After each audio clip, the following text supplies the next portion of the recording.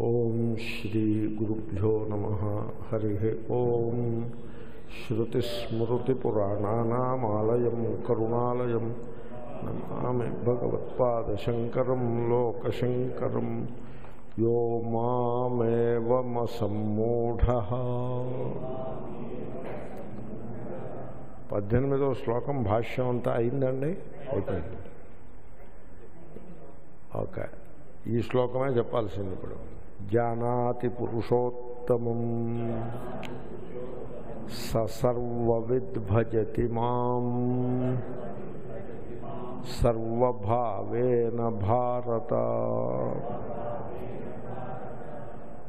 ఈశ్వరుణ్ణి తెలుసుకోవాలి జానాతి। కొంతమంది మేము భక్తి చేస్తాం భజ భజంతి మేము భజన చేస్తూ ఉంటారు। భజన అంటే ఏమిటనుకుంటున్నారు? భజన అంటే ఏమిటి? భజనం భక్తి. భక్తి అంటే భజనం అని అర్థం ఇస్తారు భజనం అంటే మనం ఏమనుకుంటాం? ఏదో తబలా హార్మోని పెట్టుకొని గానం చేయటం అనుకుంటాం. అది భజనంలో ఒక అంశము. మొత్తం భజనం అంతా అదే కాదు. Just one small aspect of భజనం. భజన ఇప్పుడు మీరాబాయి శ్రీకృష్ణ భగవాను భజించింది. అంటే పాటలు పాడిందిరా అంతేనా? పాటలు పాడమేనా ఇంకా అంతకంటే ఇంకేం లేదు. ఆ పాటల వెనకాల భావం ఉండద్దు. భావము లేని పాట ఎలాంటిది ఎలాంటి పాటది? అది ప్రాణం లేని శరీరము లాంటిది కాదు. కాబట్టి భజనం అంటే ప్రేమ. ఈశ్వరుణ్ణి భజించుట అంటే ఈశ్వరుణ్ణి ప్రేమించుట. కాబట్టి తెలుసుకోవడానికి ఎక్కువ ప్రాముఖ్యాన్ని ఇవ్వాలి. తెలుసుకోవడానికి. తెలుసుకోవడం చాలా ముఖ్యం. తెలుసుకోవడం లేని కర్మ భజనము ఇవన్నీ కూడా చాలా అసందర్భంగా ఉంటాయి. ఒకసారి నాకు బాగా గుర్తు సామర్లకోట రైల్వే స్టేషన్లో కూర్చుని ఉన్నాను నేను రైలుకి. సామర్లకోట నుంచి బయలుదేరవు రైళ్ళన్నీ ఎక్కడెక్కడి నుంచో వస్తాయి. అంటే ఆలస్యంగా వస్తాయి.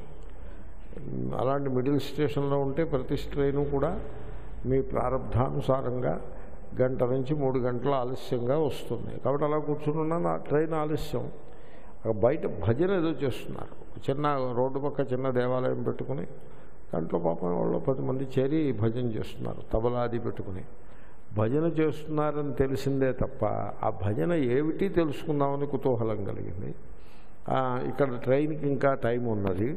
కాబట్టి అటుకేసి వెళ్ళారు. దగ్గరికి వెళ్తే తెలుస్తుందేమో దూరం నుంచి హార్మోనీ తబలా ఈ వాయిస్ వెరీ హై పిచ్ వాయిస్లు తప్ప ఆ పదం ఒక్కటి కూడా నాకు అర్థం కాలేదు. ఎంత ప్రయత్నించినా అర్థం కాలేదు.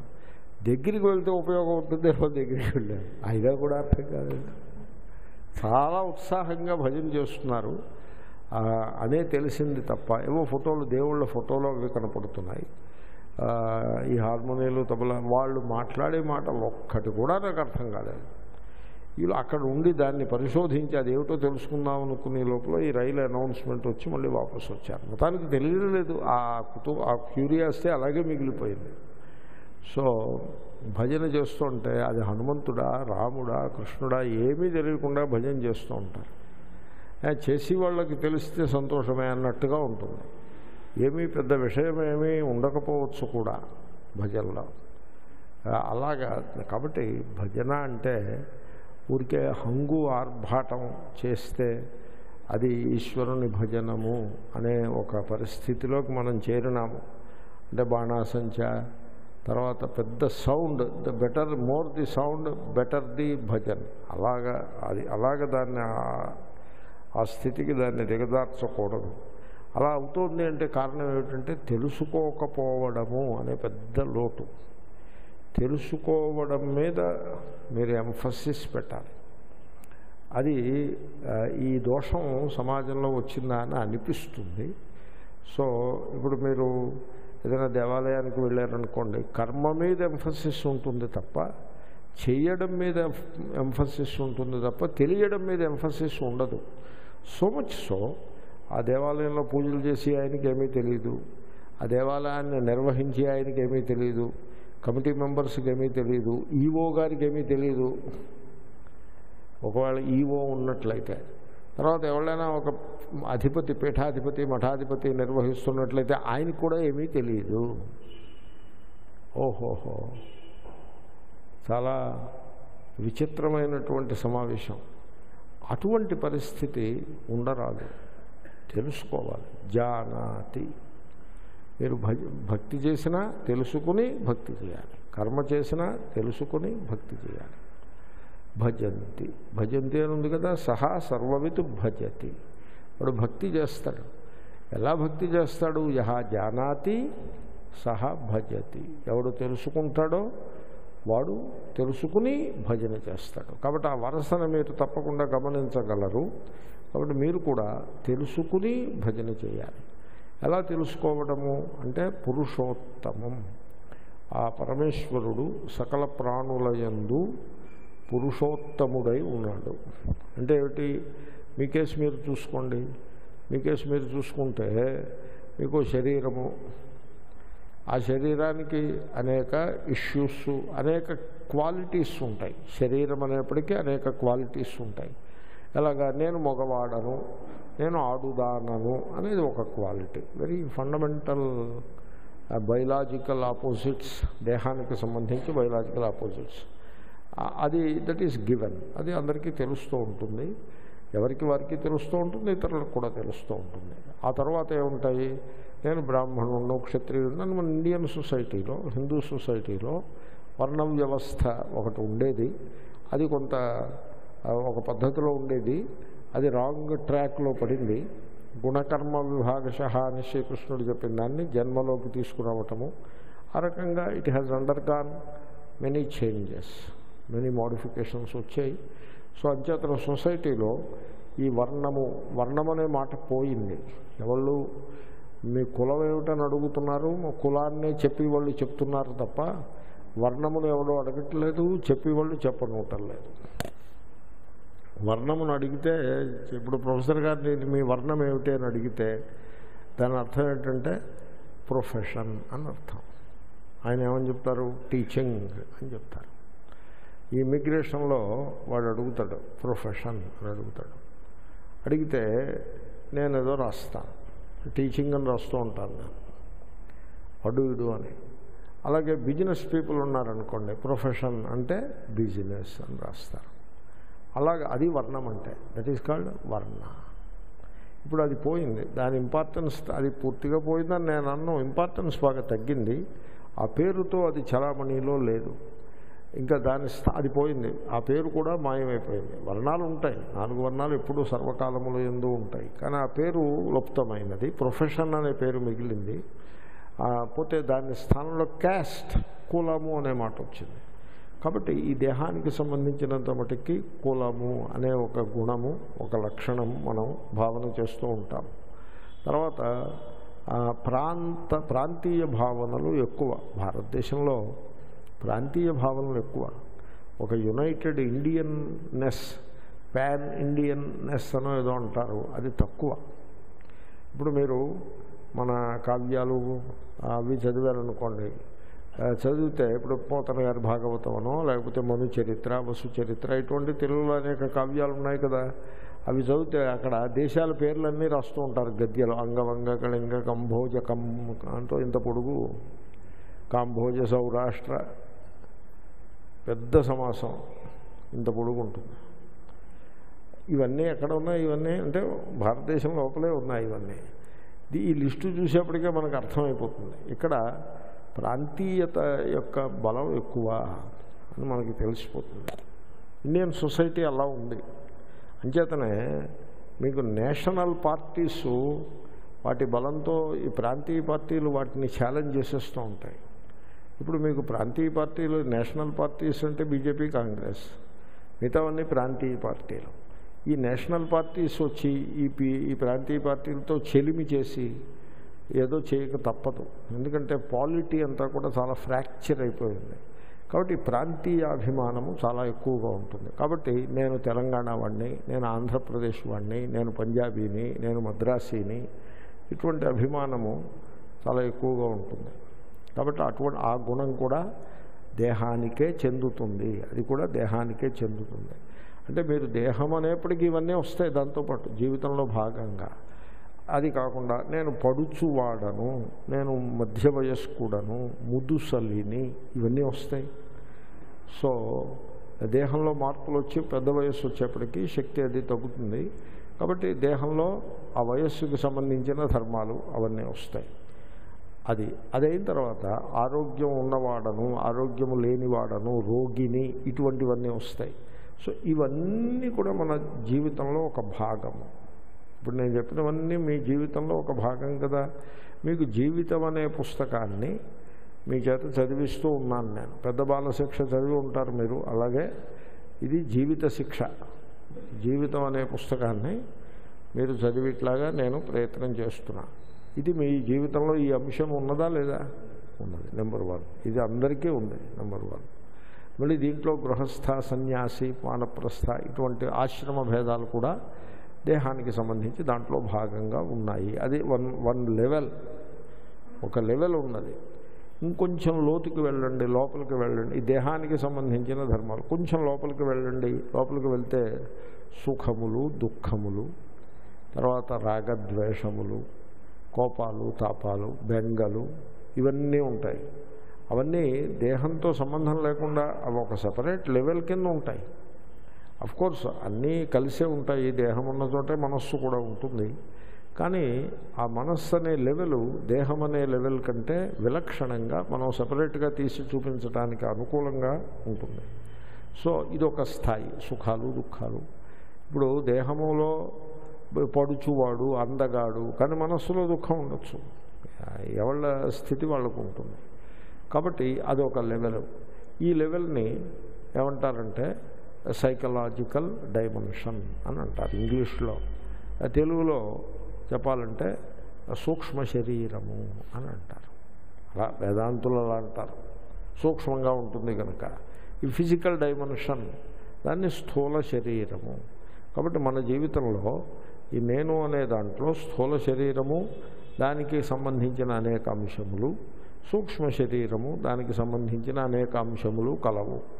అంటే అక్కడికి ఎంతవరకు కవర్ చేసాం మనం? క్షర అక్షర కవర్ చేసాం ఏమండి? ఇంకోటి కూడా ఉంది. ఈ రెండే కాదండోయ్ ఇంకోటి కూడా ఉంది. ఇది పెద్ద న్యూస్ ఇది.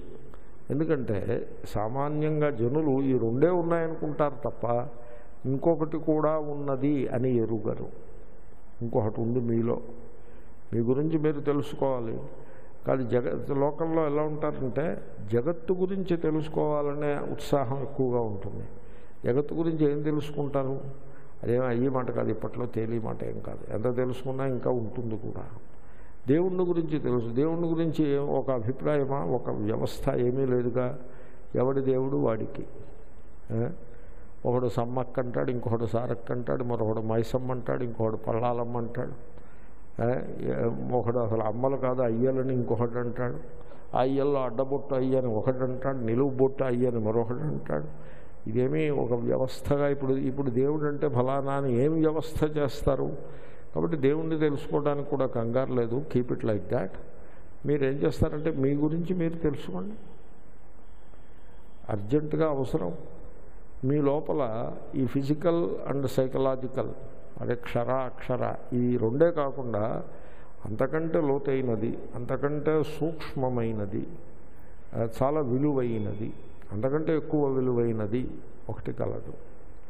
ఈ స్థూల దేహం ఎప్పుడూ నశించిపోయేది బూడిదైపోతుంది మట్టి అయిపోతుంది సూక్ష్మదేహం ఏముందండి? ఎంతసేపు సుఖం దుఃఖం రాగం ద్వేషం? అదేగా సూక్ష్మదేహం. సూక్ష్మదేహంతో సుఖపడ్డవాడు ఎవడున్నాడు దాంతో సతమతమయ్యేదే సందర్భమే ఎప్పుడు మారిపోతూ ఉంటుంది.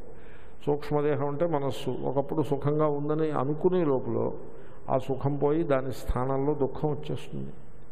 కాబట్టి ఈ సూక్ష్మదేహం అనేది ఒకటి ఉన్నది.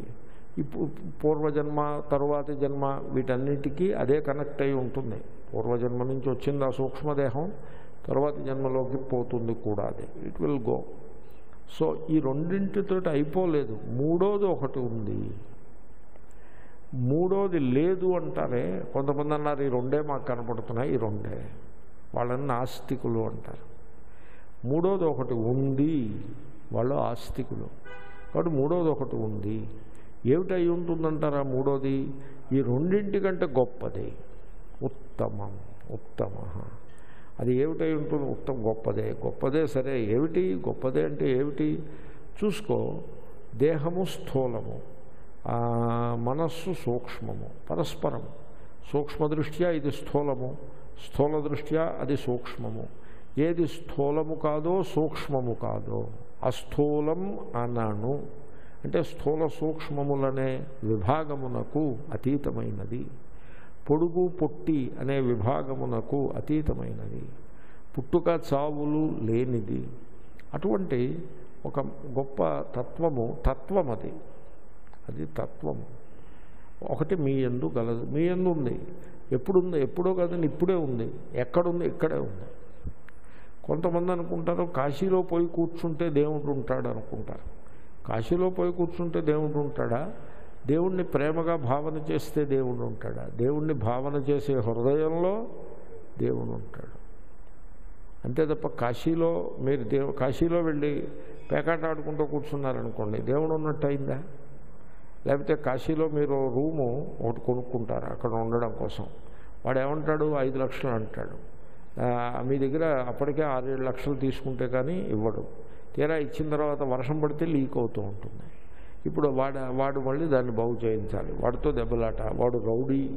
మీరేమో ఇక్కడి నుంచి కొత్తగా వెళ్ళేదో శివుణ్ణి భజించేద్దామని వెళ్ళి వీటితో దెబ్బలాట పడుతూ కుస్తీ పడుతూ ఎక్కడ అన్యాయం అయిపోయింది జగత్తులో ఎక్కడ న్యాయం లేదు ఆఖరికి కాశీలో కూడా న్యాయం లేదు అని దుఃఖపడుతూ ఉచిష్టులు ఉండాల్సి ఉంటుంది. కాబట్టి కాశీ వెళ్తే దేవుడు వచ్చేస్తాడా? దేవుడు ఎక్కడ ఉంటాడు ఏ హృదయంలో ప్రేమ ఉంటుందో? ఆ హృదయంలో ఉంటాడు. ప్రేమ రూపుడే ఉంటాడు. పూర్ణుడుగా ఉంటాడు. పురుషయనాత్ పురుష పూర్ణత్వాత్ పురుష పూర్ణరూపుడే ఉంటాడు. కాబట్టి మీ లోపల ఆ పురుషోత్తముడు కూడా ఉన్నాడు. వాడండి దేవుడు. అప్పుడు మా నన్ను నన్నంటే దేవుడు శ్రీకృష్ణ భగవానుడు కదా చెప్తుంటా. నేనురా పురుషోత్తముడను నీ లోపల ఉన్నాను. అయితే మరి కనపట్టలేదని ఈ రెండు కవర్ అయి చేసేస్తున్నాయి. మన ఫోకస్ దేహం మీద మనస్సు మీద ఎప్పుడైతే పడిపోయిందో కవర్ అయిపోయి ఉన్నది. Covered so very unfortunate. ఎందుకు కవర్ అయిపోయింది? సమ్మూఢ. వీడు పరమ మూఢుడు. మోహము నన్ను మోహము గలవాడు. మూఢ అంటే మోహము గలవాడు. మోహము అనేది మీరు అర్థం చేసుకోవాలి. మోహ వైచిత్య నేను మోహ శబ్దం వచ్చినప్పుడల్లా కొత్తగా చెప్పినట్టు చెప్తూ ఉంటా. ఎందుకంటే మనుషుల జీవితాలను మోహము శాసిస్తూ ఉంటుంది మోహంలో ఉంటారు జనులు. పెద్ద మోహంలో ఉంటారు. శాసిస్తూ ఉంటుంది. సో దేవుడి గురించి వీడు భక్తుడు ఉన్నాడు అనుకోండి దేవుడి గురించి పైకి చూస్తూ ఉంటాడు. అంటే మోహం అనేది అలా ఉంటుంది. మంచివాడు. సో మోహం ఏం చేస్తుందంటే మనుషుల్ని వాళ్ళ ధారణలు ఉంటాయి. ధారణలు అంటే కొన్ని ఫిక్స్డ్ ఐడియాస్. మన జీవితాన్ని ఈ ధారణలే నడిపిస్తూ ఉంటాయి. ధారణలతోటే మనిషి జీవి జీవిస్తాడు. చేతులు కాళ్ళతోటి జీవిస్తాడు ధారణలను బట్టి జీవిస్తాడు. వీడి లోపల ఉండే ధారణలు తప్పు అనుకోండి అప్పుడు వాడి జీవితం ఏమైపోతుంది? చాలా కష్టమైపోతుంది. ఇప్పుడు వేసవి కాలంలో ఒకడు టెర్లిన్ షర్ట్ కొనుక్కుని పాలియస్టర్ ప్యాంటు కట్టుకుని బెల్ట్ పెట్టుకుని టై కట్టుకుని నేను చాలా ఫ్యాషనబుల్గా ఉన్నాను అని అనుకున్నాడు అనుకుంటున్నాడు. లోపల ఉడికిపోతూ ఉంటాడు. చర్మము కమిలిపోతూ ఉంటుంది ఆ వేడికి ఆ టెర్లిన్ షర్ట్ యొక్క వేడికి వేసవిలో. మరి ఇంత కష్టపడుతూ వాడు ఆ వేషాన్ని అలాగే మెయింటైన్ ఎందుకు చేసుకుంటున్నాడు అంటే దాని పేరే మోహము. ఆ మోహం ఏం చేస్తుందంటే ఒక తప్పుడు ధారణ. ఇది మంచి ఫ్యాషనబుల్ డ్రెస్ అనే ధారణ తప్పు ధారణ వల్ల దేహము పెద్ద అనారోగ్యానికి గురవుతుంది. మోహము ఇప్పుడు మీరు ఏమీ అనుకోనంటే నేను చెప్తాను మనకి డయాబెటీస్ ఎందుకు వస్తుంది? మోహం వల్ల వస్తుంది. మనకి ఆహార విషయంలో మోహం కనుక లేకపోతే డయాబెటీస్ రాదు అలాగే ఇతర వ్యాధులు కూడా.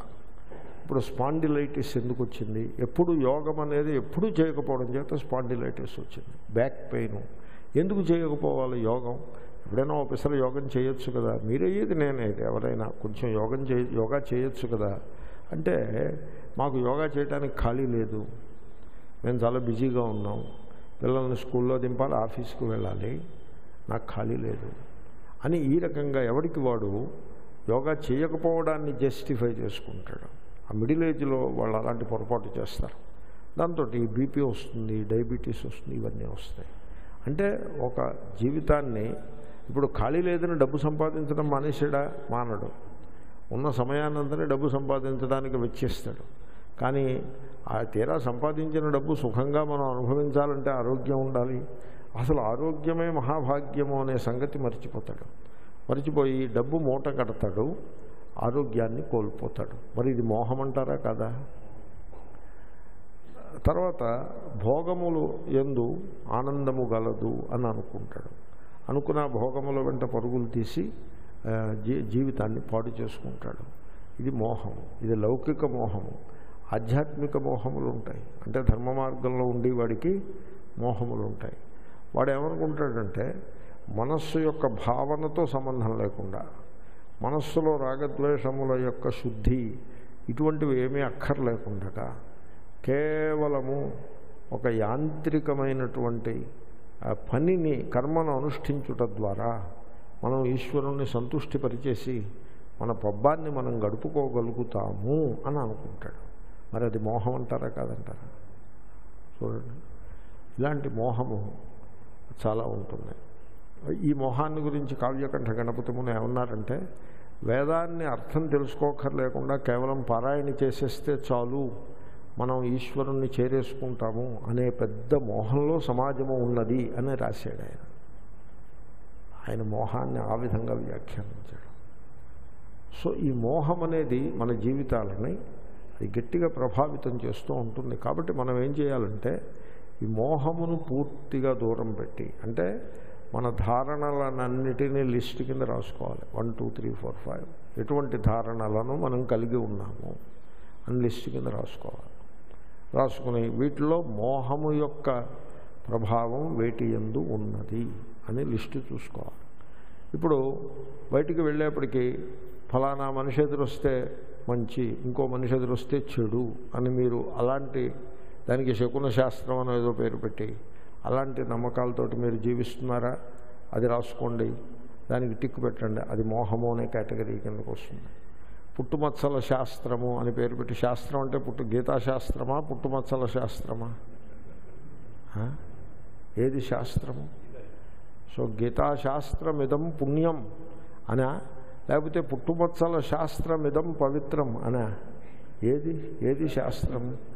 సో పుట్టుమచ్చల శాస్త్రము అనే పుస్తకం ఒకటి పెట్టుకుని ఇక్కడ పుట్టుమచ్చుంది అక్కడ పుట్టుమచ్చ ఉంది అని చెప్పేసేసి చూసుకుంటాం కొన్ని కనపడేవి కొన్ని కనపడనవి దాని గురించి ఆలోచన చేసుకుంటూ కూర్చున్నారనుకోండి మీకు అటువంటి పిచ్చి ఉన్నట్లయితే దాని పేరు మోహము. బల్లెపాటు శాస్త్రము. బల్లి నెత్తిమే పడితే మంచిదా తొడమే పడితే మంచిదా?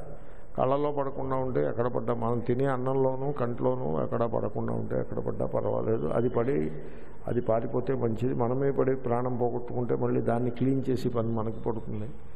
సో ఇటువంటి తల తోక లేని శుద్ధ పూర్తి అంధవిశ్వాసముల క్వా- కేటగిరీకి చెందినవన్నీ కూడా మోహము అనే దాంట్లోకి వస్తాయి. మోహము అనబడతాయి. కాబట్టి ఆ మోహములను మీ జీవితాన్ని మీరు లిస్టు రాసుకోవాలి. కొంతమంది జీవితంలో రెండు వందల యాభై ఓ- నాలుగు డజన్ల మోహాలు ఉంటాయి. కొంతమందికి రెండు డజన్ల మోహాలే ఉంటాయి. కొంతమందికి అరడదన మోహాలే ఉంటాయి చాలు మన ప్రాణం తీయడానికి ఒక్క మోహం చాలు. కాబట్టి ఈ లిస్టు రాసుకునే మోహములు. మీకు కొన్ని ఇంకో కొన్ని మోహాలు చెప్పమంటారా? కొంచెం ఫిలాసఫీలో మీరు పైకి వెళ్ళారనుకోండి కొన్ని మోహాలు చెప్పమంటారా? దేవుడు దూరంగా ఉంటాడు. ఎద్దూరే తద్వంతికే. అక్కడ శంకరులు రాస్తారు మోహంలో ఉన్నవాడికి దూరంగా ఉన్నట్టు తెలుసుకున్నవాడికి దగ్గరగా ఉన్నట్టు. తర్వాత దేవుడు నాకంటే భిన్నంగా ఉంటాడు అది కూడా మోహం.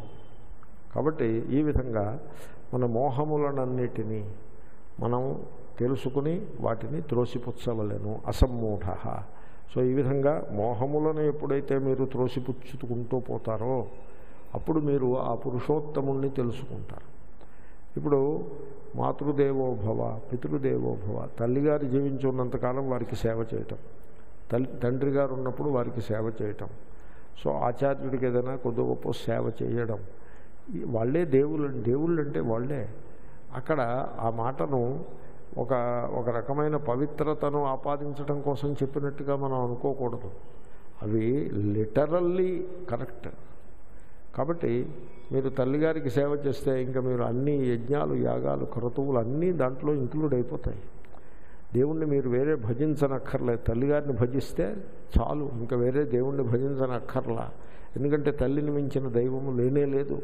కాబట్టి ఈ విధంగా దైవానికి సంబంధించి ఎన్నెన్ని భావజాలములు భావ ఎంత భావజాలము కలదో దానిని అంతని కూడా శోధన చేసి దాన్ని క్లీనప్ చేసుకోవాల్సినటువంటి అవసరము గలదు.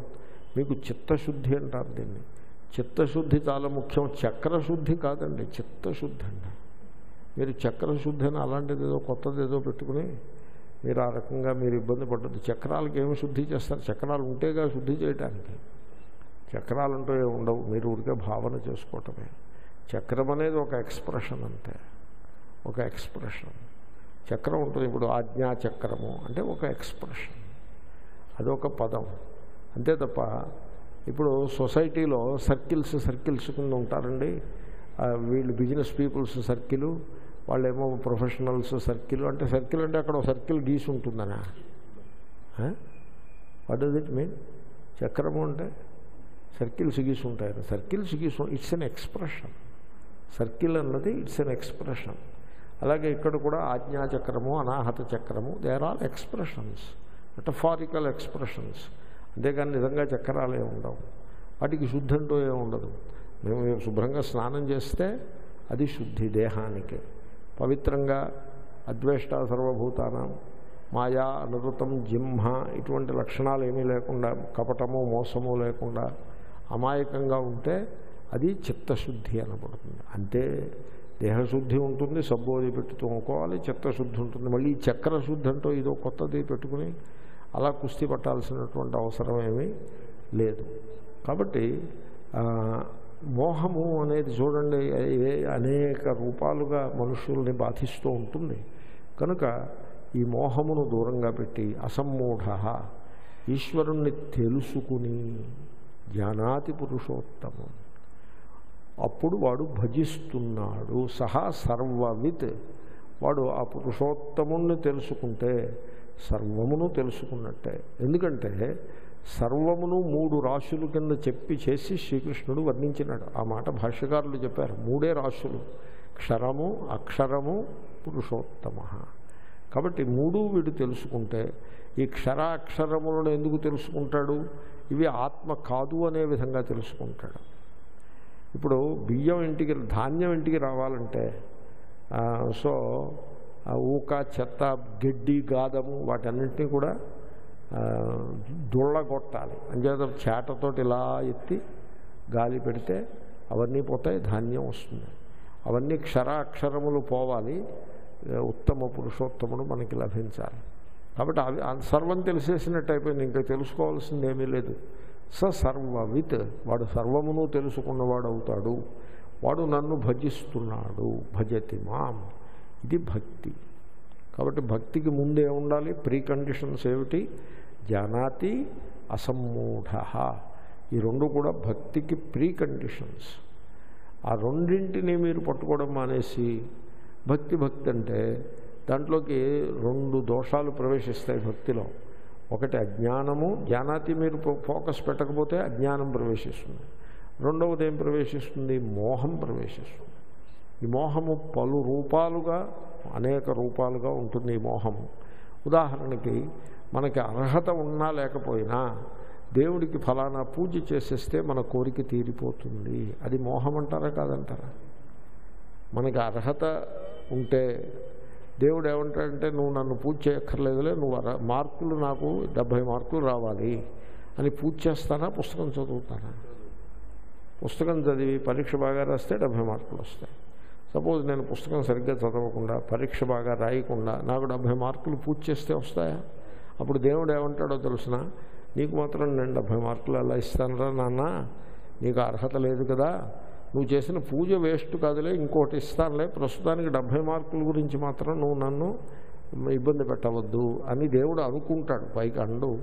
కాబట్టి కాబట్టి దేవుణ్ణి పూజ చేస్తే మార్కులు వస్తాయి. అది మోహం అంటారా కాదంటారా?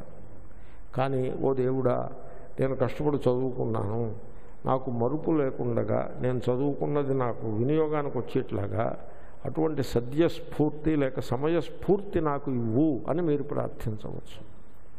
You have a right to pray like that you should pray like that అంతేగాని ఒక ఒకతను ప్రేయర్ చేస్తున్నాడు.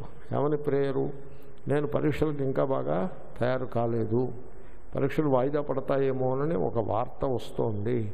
కాబట్టి ఓ దేవుడా పరీక్షలు వాయిదా పడి ఇట్లా నేను కోరుకుంటున్నాను అని ప్రార్థించాడు అనుకోండి అప్పుడు అది న్యాయమైన ప్రార్థన కాదది. ఎందుకంటే వీడికి పరీక్షలు వాయిదా పడితే మీ- మిగతా వాళ్ళందరూ కూడా ఉంటారు. దేవుడు ఇలాంటి ప్రార్థనలను ఇంకో కొంతమంది కష్టపడి చదువుకున్న విద్యార్థులు వాళ్ళు ప్రార్థనలు చేస్తున్నారు. ఏమని? ఓ దేవుడా మేము కష్టపడి చదువుకున్నాము ready for the exam. Exam అయిపోతే మేము కాంపిటేటివ్ ఎగ్జామ్స్కి వాటికి చదువుకోవాలి. ఈ ఎగ్జామ్స్ పోస్ట్ పోన్ అయిపోతే మేము కాంపిటేటివ్ ఎగ్జామ్స్లో మిస్ అయిపోతాము. కాబట్టి వాయిదా పడకూడదు అని చాలామంది కోరుకుని పూజలోవి వాళ్ళు చేసుకుంటున్నారు. ఇప్పుడు దేవుడు ఎవడ ప్రార్థన వినాలంటారు?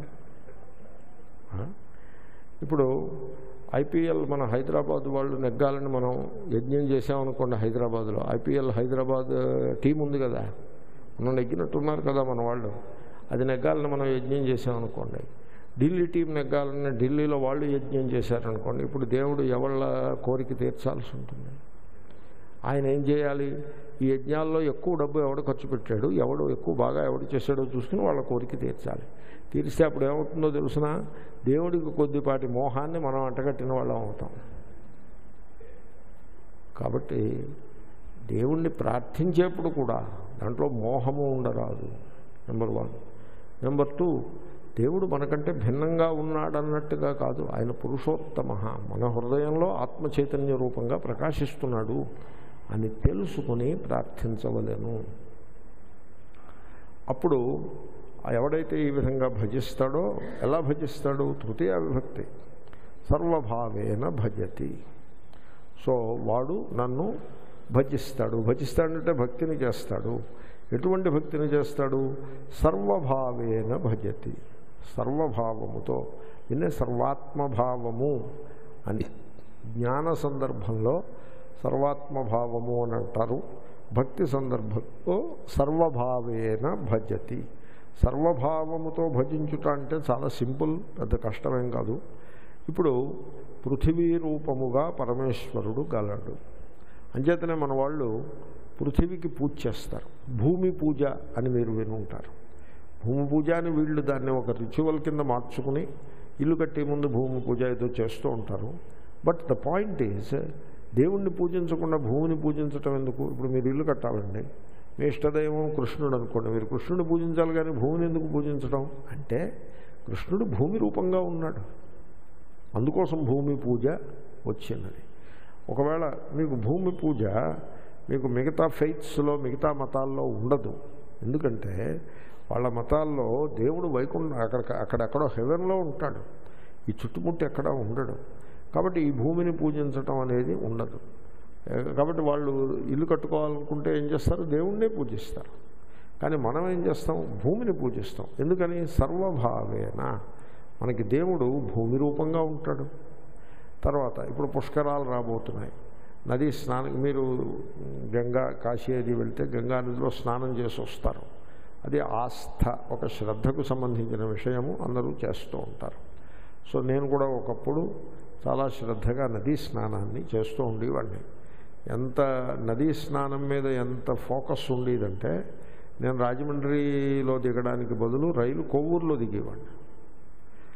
Inconvenient Kovvur is not a very convenient place to get down అది వెళ్ళాల్సిన చోటు కూడా కాదు. రాజమండ్రిలో దిగి వెళ్ళాలి. కానీ కొవ్వూరులో దిగి ఆ ఇన్కన్వీనియన్స్ అంతా భరించి గోదావరి తీరానికి వెళ్ళి గోదావరిలో స్నానం చేసి ఎందుకంటే రాజమండ్రిలో గోదావరిలో స్నానం చేయటం చాలా కష్టంగా ఉండేది. ఎందుకంటే చాలా కష్మలంగా ఉండేది అక్కడ. అదే కొవ్వూరు కొంచెం శుద్ధ శుభ్రంగా ఉండేది. అందుకోసం కొవ్వూరులో స్నానం చేసి బయటకు వచ్చి ఆ రోడ్డు మీద నిలబడి అటు పోయే బస్సో లారీయో ఏదో ఎక్కి ఆ రాజమండ్రి వెళ్ళి అక్కడ అలా చాలా కష్టపడి చేసేవాళ్ళం. ఇప్పుడు కష్టం అనిపిస్తుంది. అప్పుడు అనిపించేది కాదు. ఎందుకంటే నదీ స్నానం చెయ్యాలి అని ఒక పట్టుదల. సో కాబట్టి నది నదీ స్నానం ఎందుకు చేయాలి? పుష్కరాల్లో వీళ్ళందరూ ఎందుకు స్నానం చేస్తున్నారు? నదీ స్నానము ఏల పవిత్రము. ఎందుకో తెలుసిన? నది రూపంగా ఈశ్వరుడు ఉన్నాడు. అది పవిత్రత. వీళ్ళు ఏమని చెప్తారు? నదిలో పుష్కరుడు ప్రవేశించాడు అని చెప్తారు. నదిలో పుష్కరుడు ప్రవేశించక ముందే నదీ రూపంగా ఎవళ్ళున్నారు? ఈశ్వరుడు ఉన్నాడు. పుష్కరుడు ప్రవేశిస్తే అది అదనం. అంతకు ముందు ఎవళ్ళు ఉన్నారు ఈశ్వరుడు నదీ రూపంగా ఉన్నాడు. కాబట్టి పుష్కరాల్లోనే స్నానం చేయాలని ఏమీ కాదు. ఎప్పుడైనా చేయొచ్చు. నదీ రూపంగా ఈశ్వరుడు గలడు. అది శృతి. ఫలానా తారీఖు నాడు పుష్కరుడు ప్రవేశిస్తాడు కాబట్టి అప్పుడు స్నానం చేయాలి. అది స్మృతి. ఇటు శృతి కాదు అటు స్మృతి కాదు. నదిని దుర్వినియోగం చేయడం ఇది లౌక్యం. అలాగ అన్ని లెవెల్స్లో నడుస్తూ ఉంటుంది. కాబట్టి సర్వభావేన అంటే నదీ రూపంగా పరమేశ్వరుడు గలడు. జల రూపముగా పరమేశ్వరుడు గలడు. మీరు ఇంకుడు గుంత తవ్విస్తే దాని పేరు జలయజ్ఞము. మీరు ఈశ్వరుణ్ణి ఆరాధించినట్టు అవుతుంది నేను మీకు చిన్న మనవి చేస్తా. సర్వభావేన భారత అంటున్నాడు కనుక మీరు మీరు ఇంకుడు గుర్తు ఒకటి తవ్వించండి. మీ దగ్గర డబ్బులు లేకపోతే ఒక సంవత్సర కాలంలో పూజకి మీరు ఎంత ఖర్చు పెడతారు? తీర్థయాత్రలు పూజ దానము ధర్మము దీని నిమిత్తం ఎంత ఖర్చు పెడతారు? తిరుపతి వెళ్ళొస్తే నాలుగు వేలు ఖర్చు అవుతుంది. రోజు దీపం పెట్టడానికి నూనె ఖర్చు అవుతుంది. అగరబత్తి అంబికా దర్బార్ అగరబత్తి కొన్నారంటే అది ప్యాకెట్ ఇరవై రూపాయల చొప్పున అలాంటిదో కొంత ఖర్చు అవుతుంది. కాబట్టి ఈ ఖర్చులన్నీ ఆపేసేయండి. ఈ పూజలన్నీ ఆపేసి ఆ ఖర్చు అంతా పెట్టి అది ఆ డబ్బంతా పెట్టి ఆ శ్రమనంతని కూడా ఆ ఎఫర్ట్ అంతా కూడా ఒకచోటికి చేర్చి ఒక ఇంకుడు గుంతని మీరు తయారు చేయించండి. కరెక్ట్గా చేయించి సైంటిఫిక్గా చేయించాలి. ఇంకుడు గుంత అంటే ఓ గొయ్యి తవ్వి దాంట్లో కొంత చెత్త చెదారం వేసి మూసి ఇదిగో ఇంకుడు కొంత అంటే గవర్నమెంట్ వాళ్ళని సంతోషపెట్టచ్చు కానీ మీ మనస్సు సంతోషపడాలి. ఓ ఇంకుడు కొంత తవ్విస్తే దాని పేరే జలయజ్ఞము. దాన్ని జలయజ్ఞము అంటారు. తర్వాత ఓ మొక్క పాతండి ఒక మొక్క పాతితే మీకు చేతనైతే ఓ మొక్క నర్సరీకి పోయి పట్టుకొచ్చి ఎక్కడో ఒక చోట ఏదో ఒక చోటు చూసి ఒక మొక్క పాతండి ఆ సందర్భానికి తగ్గట్టుగా చేయాలి. ఒకవాళ్ళతో దెబ్బలాట వచ్చేట్లా కాకుండా లేకపోతే ఎవళ్ళ ఇంకొకళ్ళ ల్యాండ్లో వెళ్ళి పాతి రావడం అలా కాకుండా మీ సందర్భాన్ని బట్టి చేయాలి. అది కుదరాలి. ఆ సందర్భం మీకు కుదరాలి. మొక్క పాతడం అంత తేలిక కాదు. భారతదేశంలో మొక్కను నరికేయడం తేలిక కానీ మొక్కని పాతడం తేలిక కాదు. దానికి చాలా ఆటంకాలు వస్తాయి. ఆటంకాలు లేని విధంగా ఓ మొక్క పాతండి. మీ ఇంట్లోనే భగవంతుడు మీకే చోటు ఇచ్చాడు అనుకోండి ఈ ఫ్లాట్లో ఉన్న వాళ్ళకి ఏ చోటు ఉండదు. వాళ్ళు ఇంకో టీవీ కావాలంటే పెట్టుకోగలుగుతారు. పాతిక వేలు ఖర్చు పెట్టి బాత్రూంలో టీవీ బెడ్రూమ్లో ఇంకో టీవీ పెట్టుకోగలుగుతారు. ఎల్ఈడి టీవీలు పెట్టుకోగలుగుతారు పాతిక వేలు ఖర్చు పెట్టి. కానీ ఐదు వందల రూపాయలు ఖర్చు పెట్టి మొక్క పాతడానికి చోటు ఉండదు. పాత డబ్బాల్లో మట్టి పోసి తులసి మొక్క ఏదో పెడుతూ ఉంటారు తులసి మొక్క లేకపోతే మనీ ప్లాంట్ అని పెడుతూ ఉంటారు మోహము అన్నదానికి మనీ ప్లాంట్ చక్కని నిదర్శనము. ఆ మొక్క పెట్టేస్తే మనకి డబ్బులు అలాగా ఇబ్బడి ముబ్బడిగా పడిపోతాయి. ఏమంటే డబ్బులు అలాగే ఇబ్బడి ముబ్బడిగా వచ్చి పడిపోతుంటే అది లోభం అవుతుందా అవదా ఆ డబ్బులన్నింటినీ భద్రం చేసుకోవటం అనే కార్యక్రమం ఒకటి ఉండనే ఉన్నది. అదో పెద్ద పెద్ద బరువు. కాబట్టి అలా కాకుండా సో అదేదో మీరు ఏదో చేస్తూనే ఉన్నారు. ఏదైనా ఒక మొక్క అంటే చెట్టు అవ్వాలి అది. మొక్క పాతంటే మేము తులసి మొక్క పాతేమని అలా తప్పించుకోవడానికి వీలు లేదు. చెట్టు అవ్వాలి. అది పాతితే అది పృథివీ యజ్ఞము అగ్ని మీకు ఏదైనా చేతనైతే హోమం ఒకటి ఏడాదికి ఒక హోమం చేయండి. అగ్ని రూపంగా ఈశ్వరుడు ఉన్నాడు ఎందుకంటే సర్వభావము రావాలి. అంతే తప్ప ఈశ్వరుడు అంటే ఒక ప్రతిమ ఓ విగ్రహం ఓ దేవాలయం ఓ గర్భగుడి అక్కడే ఉన్నాడు. ఈశ్వరుడు మూడు అంగుళాలు ఉంటే పర్వాలేదు నాలుగు అంగుళాలు ఉండకూడదు. ఇలాగంటి మోహాల్లో పడిపోయి ఐదు అడుగులు ఉన్నాడు కాబట్టి పనికిరాదు పూజకి. ఏడు అడుగులు ఉంటే తప్పు అవుతుంది. మా దే మా దగ్గర ఉన్న దేవుడి కంటే మీ దగ్గర ఉన్న దేవుడు పొడుగు ఎక్కువ ఉండకూడదు అని ఈ రకమైన వ్యామోహాల్లో దయచేసి పడవద్దు. ఇదంతా కూడా ఈ అజ్ఞానుల యొక్క కపోల కల్పన. అదేమి దాంట్లో సారము లేని మాటలు అవన్నీ కూడా.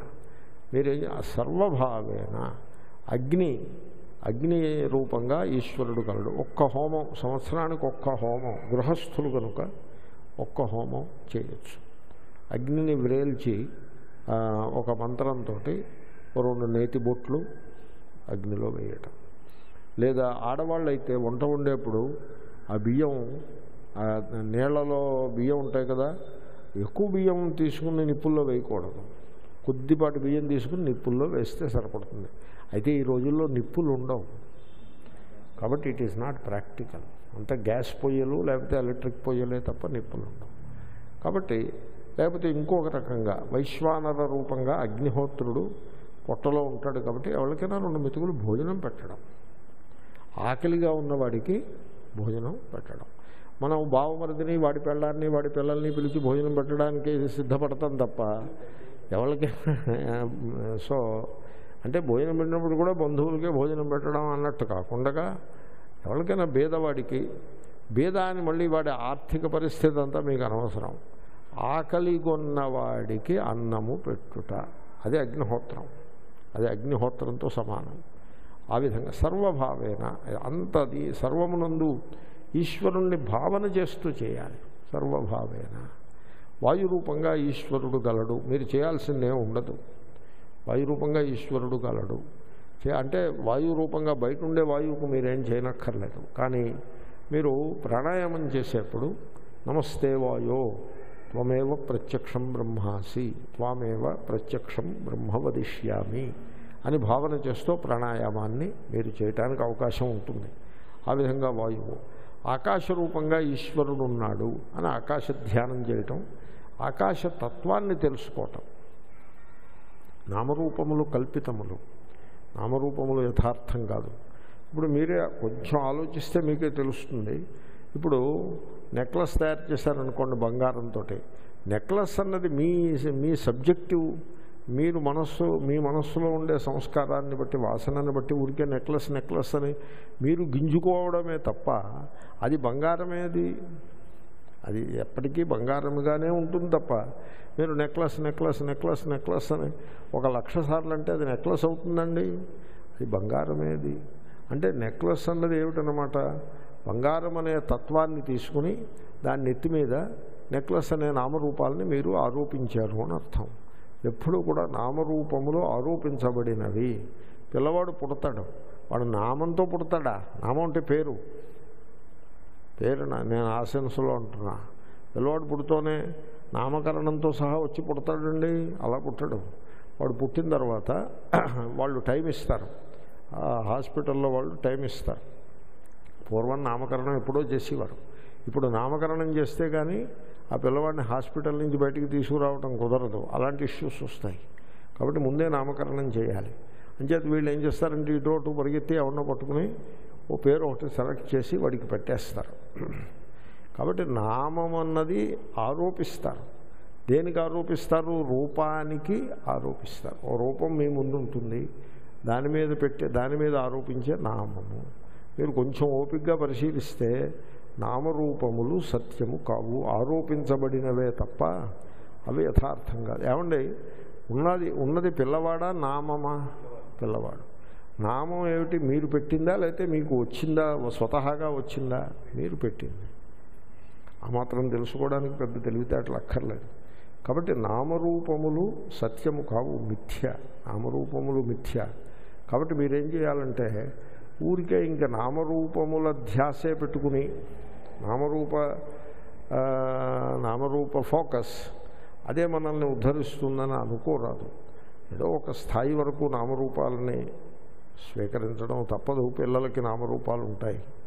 ఇది ఎలాగో మీకు దృష్టాంతం చెప్తా. మీరు జాగ్రత్తగా అర్థం చేసుకోండి. దృష్టాంతం సరళమే దాంట్లో కష్టమేం కాదు. పిల్లలకి లెక్కలు చెప్పేప్పుడు పూసల పలక ఉంటుంది ఓ పలకకి పూసలు ఉంటాయి. ఆ పూసలు ఎర్ర పూసలు నల్ల పూసలు ఎల్లో వైట్ అలాంటివి ఉంటాయి. వాటిని ఈ పూసలను ఇటు జరుపుతూ ఉన్నాం అటు జరుపుతూ ఉన్నాం ఇవి నాలుగు ఇది ఐదు కలిపితే ఎంత? తొమ్మిది అని ఆ పూసలతో చెప్తారు. ఇరవై ఏళ్ళు వచ్చిన తర్వాత కూడా వాడు పూసలతోటే చెప్తున్నాడు అనుకోండి with you do like it అప్పుడు పిల్లవాడు ఏదో ఆర్టిస్టిక్ అనో ఏదో మెంటల్లీ డిప్రెస్డ్ అనో ఏదో అనుకుని అందరూ దుఃఖపడాల్సి ఉంటుంది కదా? అలా దుఃఖపడాలి. వాడు రెండో ఏట మూడో ఏట పూసలు ఇటు తిప్పేసి టూ ప్లస్ త్రీ ఎంతరా? అంటే ఫైవ్ అన్నాడు అనుకోండి. మొత్తం ఇంట్లో వాళ్ళందరూ చప్పట్లు కొడతారు అది వీడియో తీస్తారు భద్రపరుస్తారు అన్నీ చేస్తారు. వాడు టూ ప్లస్ త్రీ ఫైవ్ అన్నందుకు. దాన్ని వీడియో తీస్తారు. ఒక అమ్మగారు నాకు వీడియో పంపించారు. స్వామీజీ మీరు చూసి మా పిల్లవాడిని ఆశీర్వదించండి అని వీడియో పంపించారు. ఆ వీడియో ఏమిటంటే వాడిని కుర్చీలో కూర్చోబెట్టి వాడికి నోట్లో చెంచాతోటి ఆహారాన్ని తినిపించాలి. పిల్లలకి ఆహారం తినాలని తెలియదు వాళ్ళకి. వాళ్ళని మై మరిపించి తిని మరిపించి తినిపించాలి. అంచేత వాడికి ఒక ఒక ప్లేట్ ఆ ప్లేట్ మీద నెంబర్ ఉంటుంది. ఆ ప్లేట్ ఫార్టీ త్రీ అని నెంబర్ ఉంది. ఆ ప్లేట్ ఇచ్చి అబ్బాయి ఇదేమిట్రా అని ఈ లోపల చెంచాతోటి నోట్లో అన్నం పెట్టడం. వాడు ఫార్టీ త్రీ అని చెప్తున్నాడు. ఆ నెంబర్ ఫార్టీ త్రీ. మళ్ళీ అది తీసేసి వెరీ గుడ్ అని ప్రశంసించి ఎందుకంటే కరెక్ట్గా చెప్పాడు కదా ప్రశంసించి మళ్ళీ అది తీసేసి ఇంకో ప్లే ఇంకొక చెంచా నోట్లో అన్నం పెట్టి ఇంకో వాడు తిన్నంటుంటే తిను ఇదేమిటో చెప్పని ఇంకొక ప్లేట్. అది ట్వంటీ వన్ అని చెప్తున్నాడు వాడు. అబ్బో ఈ పిల్లాడు పిడుగులో ఉంటున్నాడే వీడు. రెండేళ్ళకే ఇన్ని అన్నీ చెప్తున్నాడే. అంటే ట్రైనింగ్ ఇచ్చారనమాట సపోజ్ వీడు పదేళ్ళ తర్వాత కూడా అలాగే ఉన్నాడు అనుకోండి ఆ తల్లిదండ్రులు సంతోషిస్తారండి. ఎంత దుఃఖపడతారు?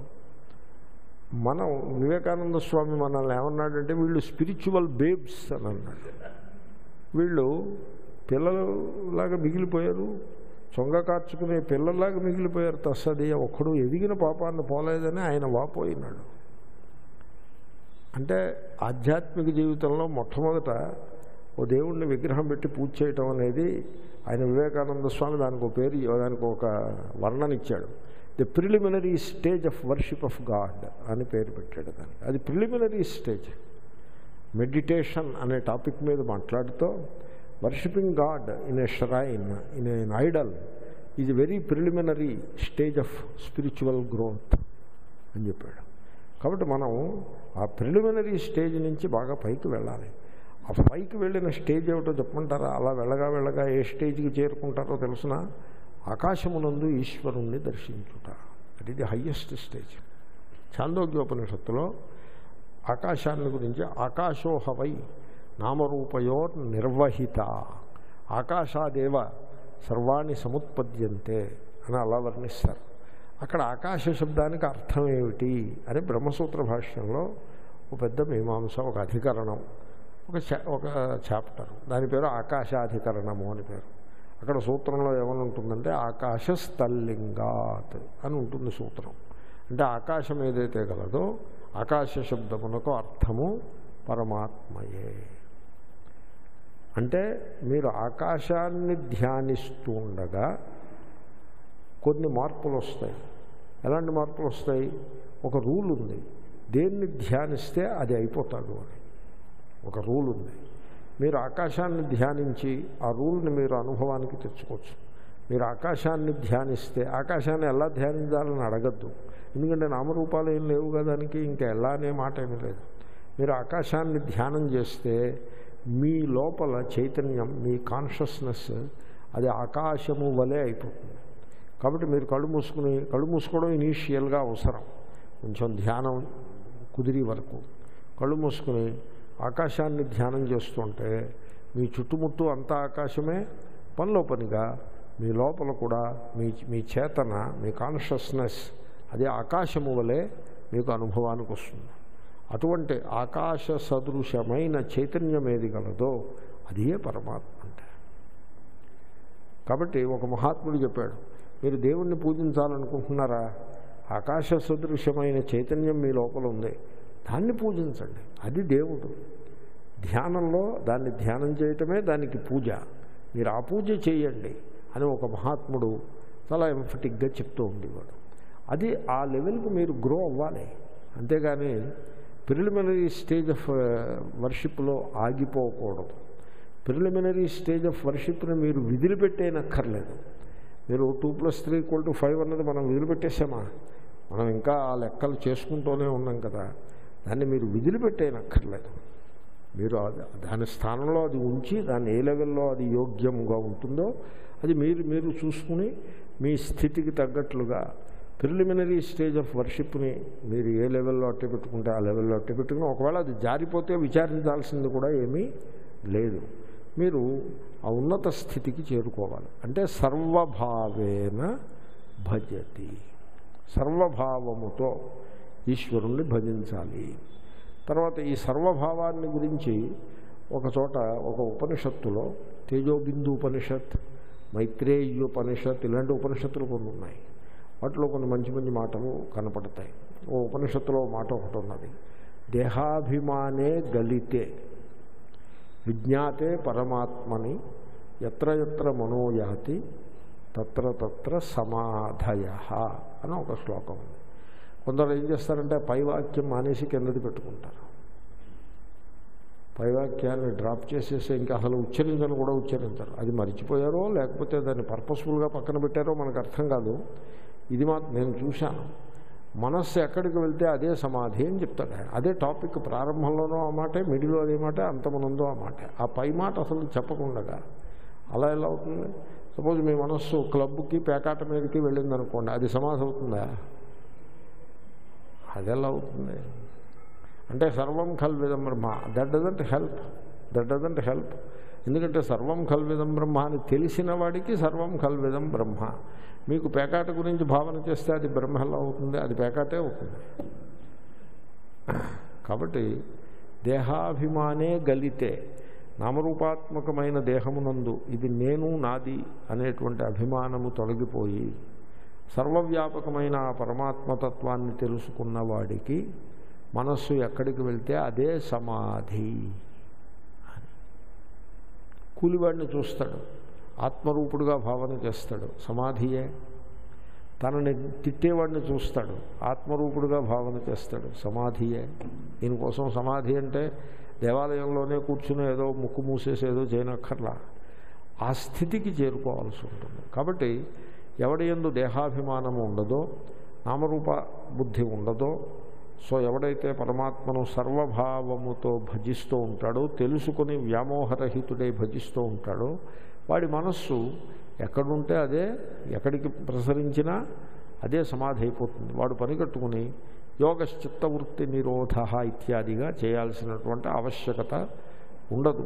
అంటే ఎదిదం దృశ్యతే కించిత్ జగత్ స్థావర జంగమం చూడండి మీరు చుట్టూ చూడండి ఏదో కొంత జగత్తు మీకు కనపడుతుంది. దాంట్లో ఇటునటు కదిలేటువంటి ప్రాణులు కొన్ని ఉంటాయి కదలకుండా ఒక చోట స్థిరంగా అతుక్కుపోయి ఉండేటువంటి ప్రాణులు చెట్టు చేమలు అవి కూడా ఉంటాయి. ఈ చెట్టు చేమలు కానీ ఈ పక్షులు పశువులు మనుష్యులు ఇవన్నీ కూడా. సో అంతర్బహిష్ట తత్సర్వం వ్యాప్య నారాయణ స్థిత. ఆ సర్వమును వ్యాపించి నారాయణుడే నిలిచి ఉన్నాడు సుమా అని ఆ విధంగా తెలుసుకుని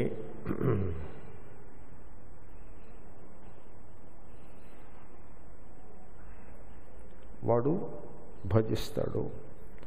సో వ్యామోహం అనేది మోహం లేకుండా భజించాలి. ఆ మోహాన్ని గురించి ఎదుర్కొండా సడన్గా నాకు ఒక శ్లోకం కనపడింది. జాయామే జననీమే జనకోమే బంధువర్గోమే. అది ఆర్యావృత్తం. జాయామే జననీమే జనకోమే బంధువర్గో మే ఇతి మే మే కుర్వాడం కాలవృకో హంతి పురుషాజం అని ఒక శ్లోకం చదవగానే అర్థం తెలియాలి. నేను అలా చదివాను మరి మీరు తెలుసుకుంటే. మే అంటే నా. జాయా మే అంటే మై వైఫ్. జననీ మే మై మదర్ జనకో మే మై ఫాదర్ బంధువర్గో మే మై రిలేటివ్స్ ఈ విధంగా ఇతి మే మే కుర్వాణం. ఈ విధంగా మే మే అంటూ ఉంటాడు. ఎప్పుడు మే మే అంటూ ఉంటాడు. దేవాలయానికి వెళ్ళినప్పుడు మమ అంటాడు. మమకి మేకి తేడా లేదు. మమ్మమే మేము చిన్నప్పుడే వల్లించాం. శబ్దం అస్మత్ శబ్దం. మమ్మమే ఆవయోహ నౌ అస్మాకన్న. ఏమీ తేడా లేదు. మే మే అంటూ ఉంటాడు. దేవుడి దగ్గరికి కూడా వెళ్ళి మే హే రామా మే కామనాం దదదేహి అంటాడు. రా రాముడు కోరిక తీరుస్తాడు. రాముడు ఏమని చెప్తాడంటే పితృవాక్య పరిపాలన చేసుకో పో అంటాడు తప్ప నీ కోరిక నేను తీరుస్తానంటాడా?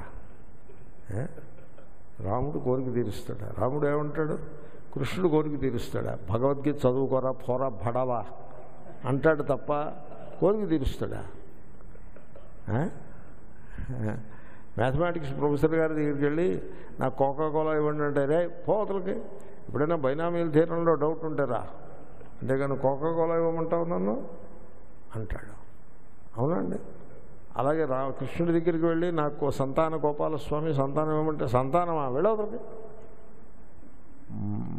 వెళ్ళి కామ సకల కామనలను త్యాగ భగవద్గీత చదువుకోపో అని చెప్తాడు. అంతే అలాగే చెప్తాడే. కాబట్టి దేవుడి దగ్గర కూడా ఈ మే మే మేమే అని వాళ్ళని ఏమంటారు? పురుషాజం. ఈ మనిషి అనే మేక. మేక మేమే అంటూ ఉంటుంది కదా. ఇది మేమే కుర్వాణం. సో కాల వృకోహంతి పురుషాజం. మేకని తోడేలు చంపేస్తుంది. వీడిని ఈ మేమేమే అంటున్న ఈ మేకగాడిని ఈ మేకగాడిని కాలము అనేటువంటి తోడేలు వచ్చి చంపేస్తుంది. అని ఒక శ్లోకం. ఇది సడన్గా నాకు అంటపడింది ఇది మీతోటి పంచుకోవాలనిపించి నేను ఈ కాగితాలన్నీ ఎప్పుడో రాశాను. ఎక్కడో వెనకాల ఖాళీ ఉన్న కాగితం మొక్క ఒకటి కనపడితే దాని మీద రాసేసి పెట్టేశారు. అవతల పారేద్దామా అంటే దాంట్లో ఉన్నది చూసినప్పుడు అబ్బాయి ఇది పారేసేది కాదండో ఏమైనా సార్ పుస్తకాలు పెట్టారు.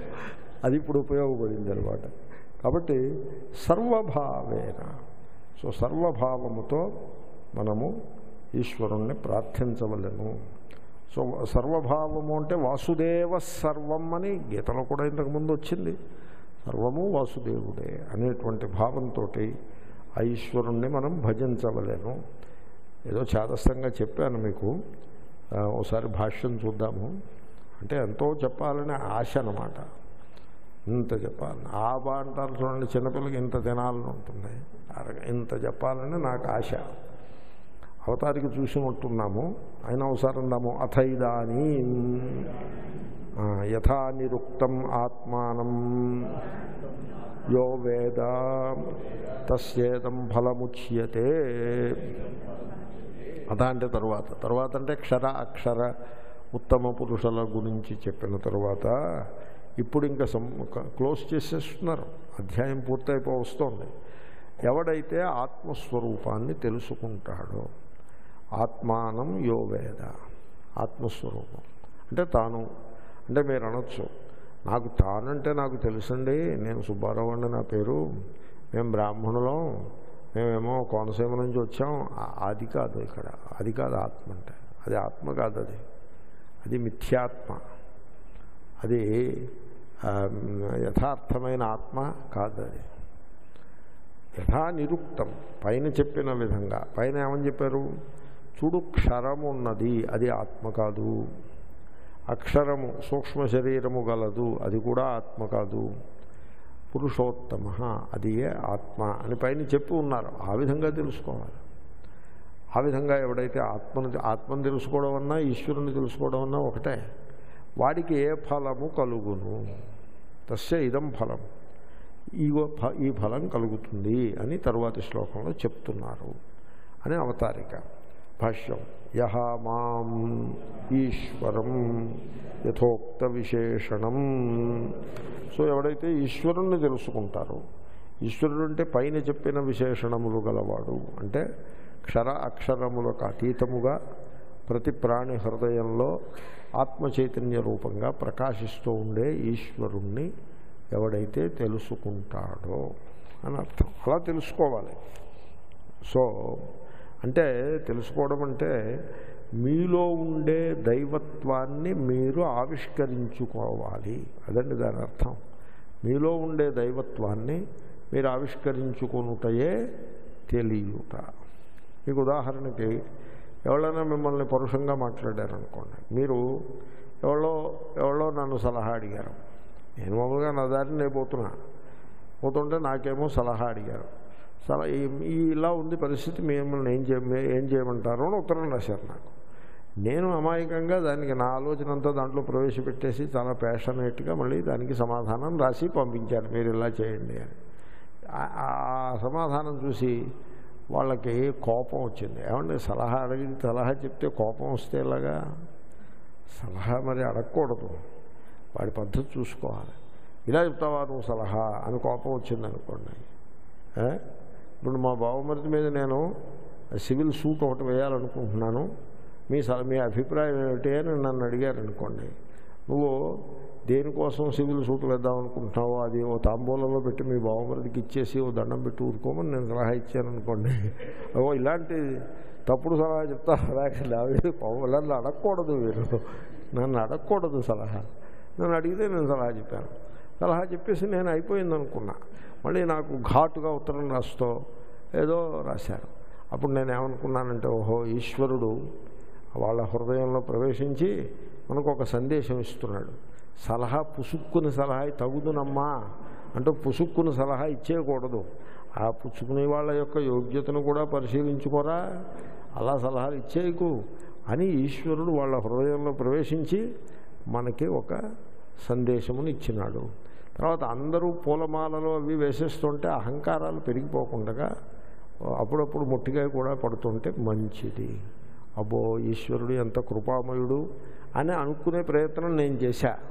I have done like that I try to do something like that so ఇది ఎందుకు చెప్పారంటే ఈశ్వరుణ్ణి యథోక్త విశేషణం ఏమం అలాగా అలా ఈశ్వరుణ్ణి తెలుసుకోవాలి తప్ప ఈశ్వరుడు అంటే ఆయనకి నాలుగు చేతులు ఉంటాయి చేతుల్లో శంఖం పట్టుకుంటాడు అలా డ్రెస్అప్ అయిపోయి ఉంటాడు అలాగే తెలుసుకుంటే అది ఏమి తెలుసుకున్నట్టు దాన్ని తెలుసుకోవడం అనరు. దాన్ని ఉపాసించడము అంటారు. ఉపాసన వేరు తెలుసుకోవడం వేరు.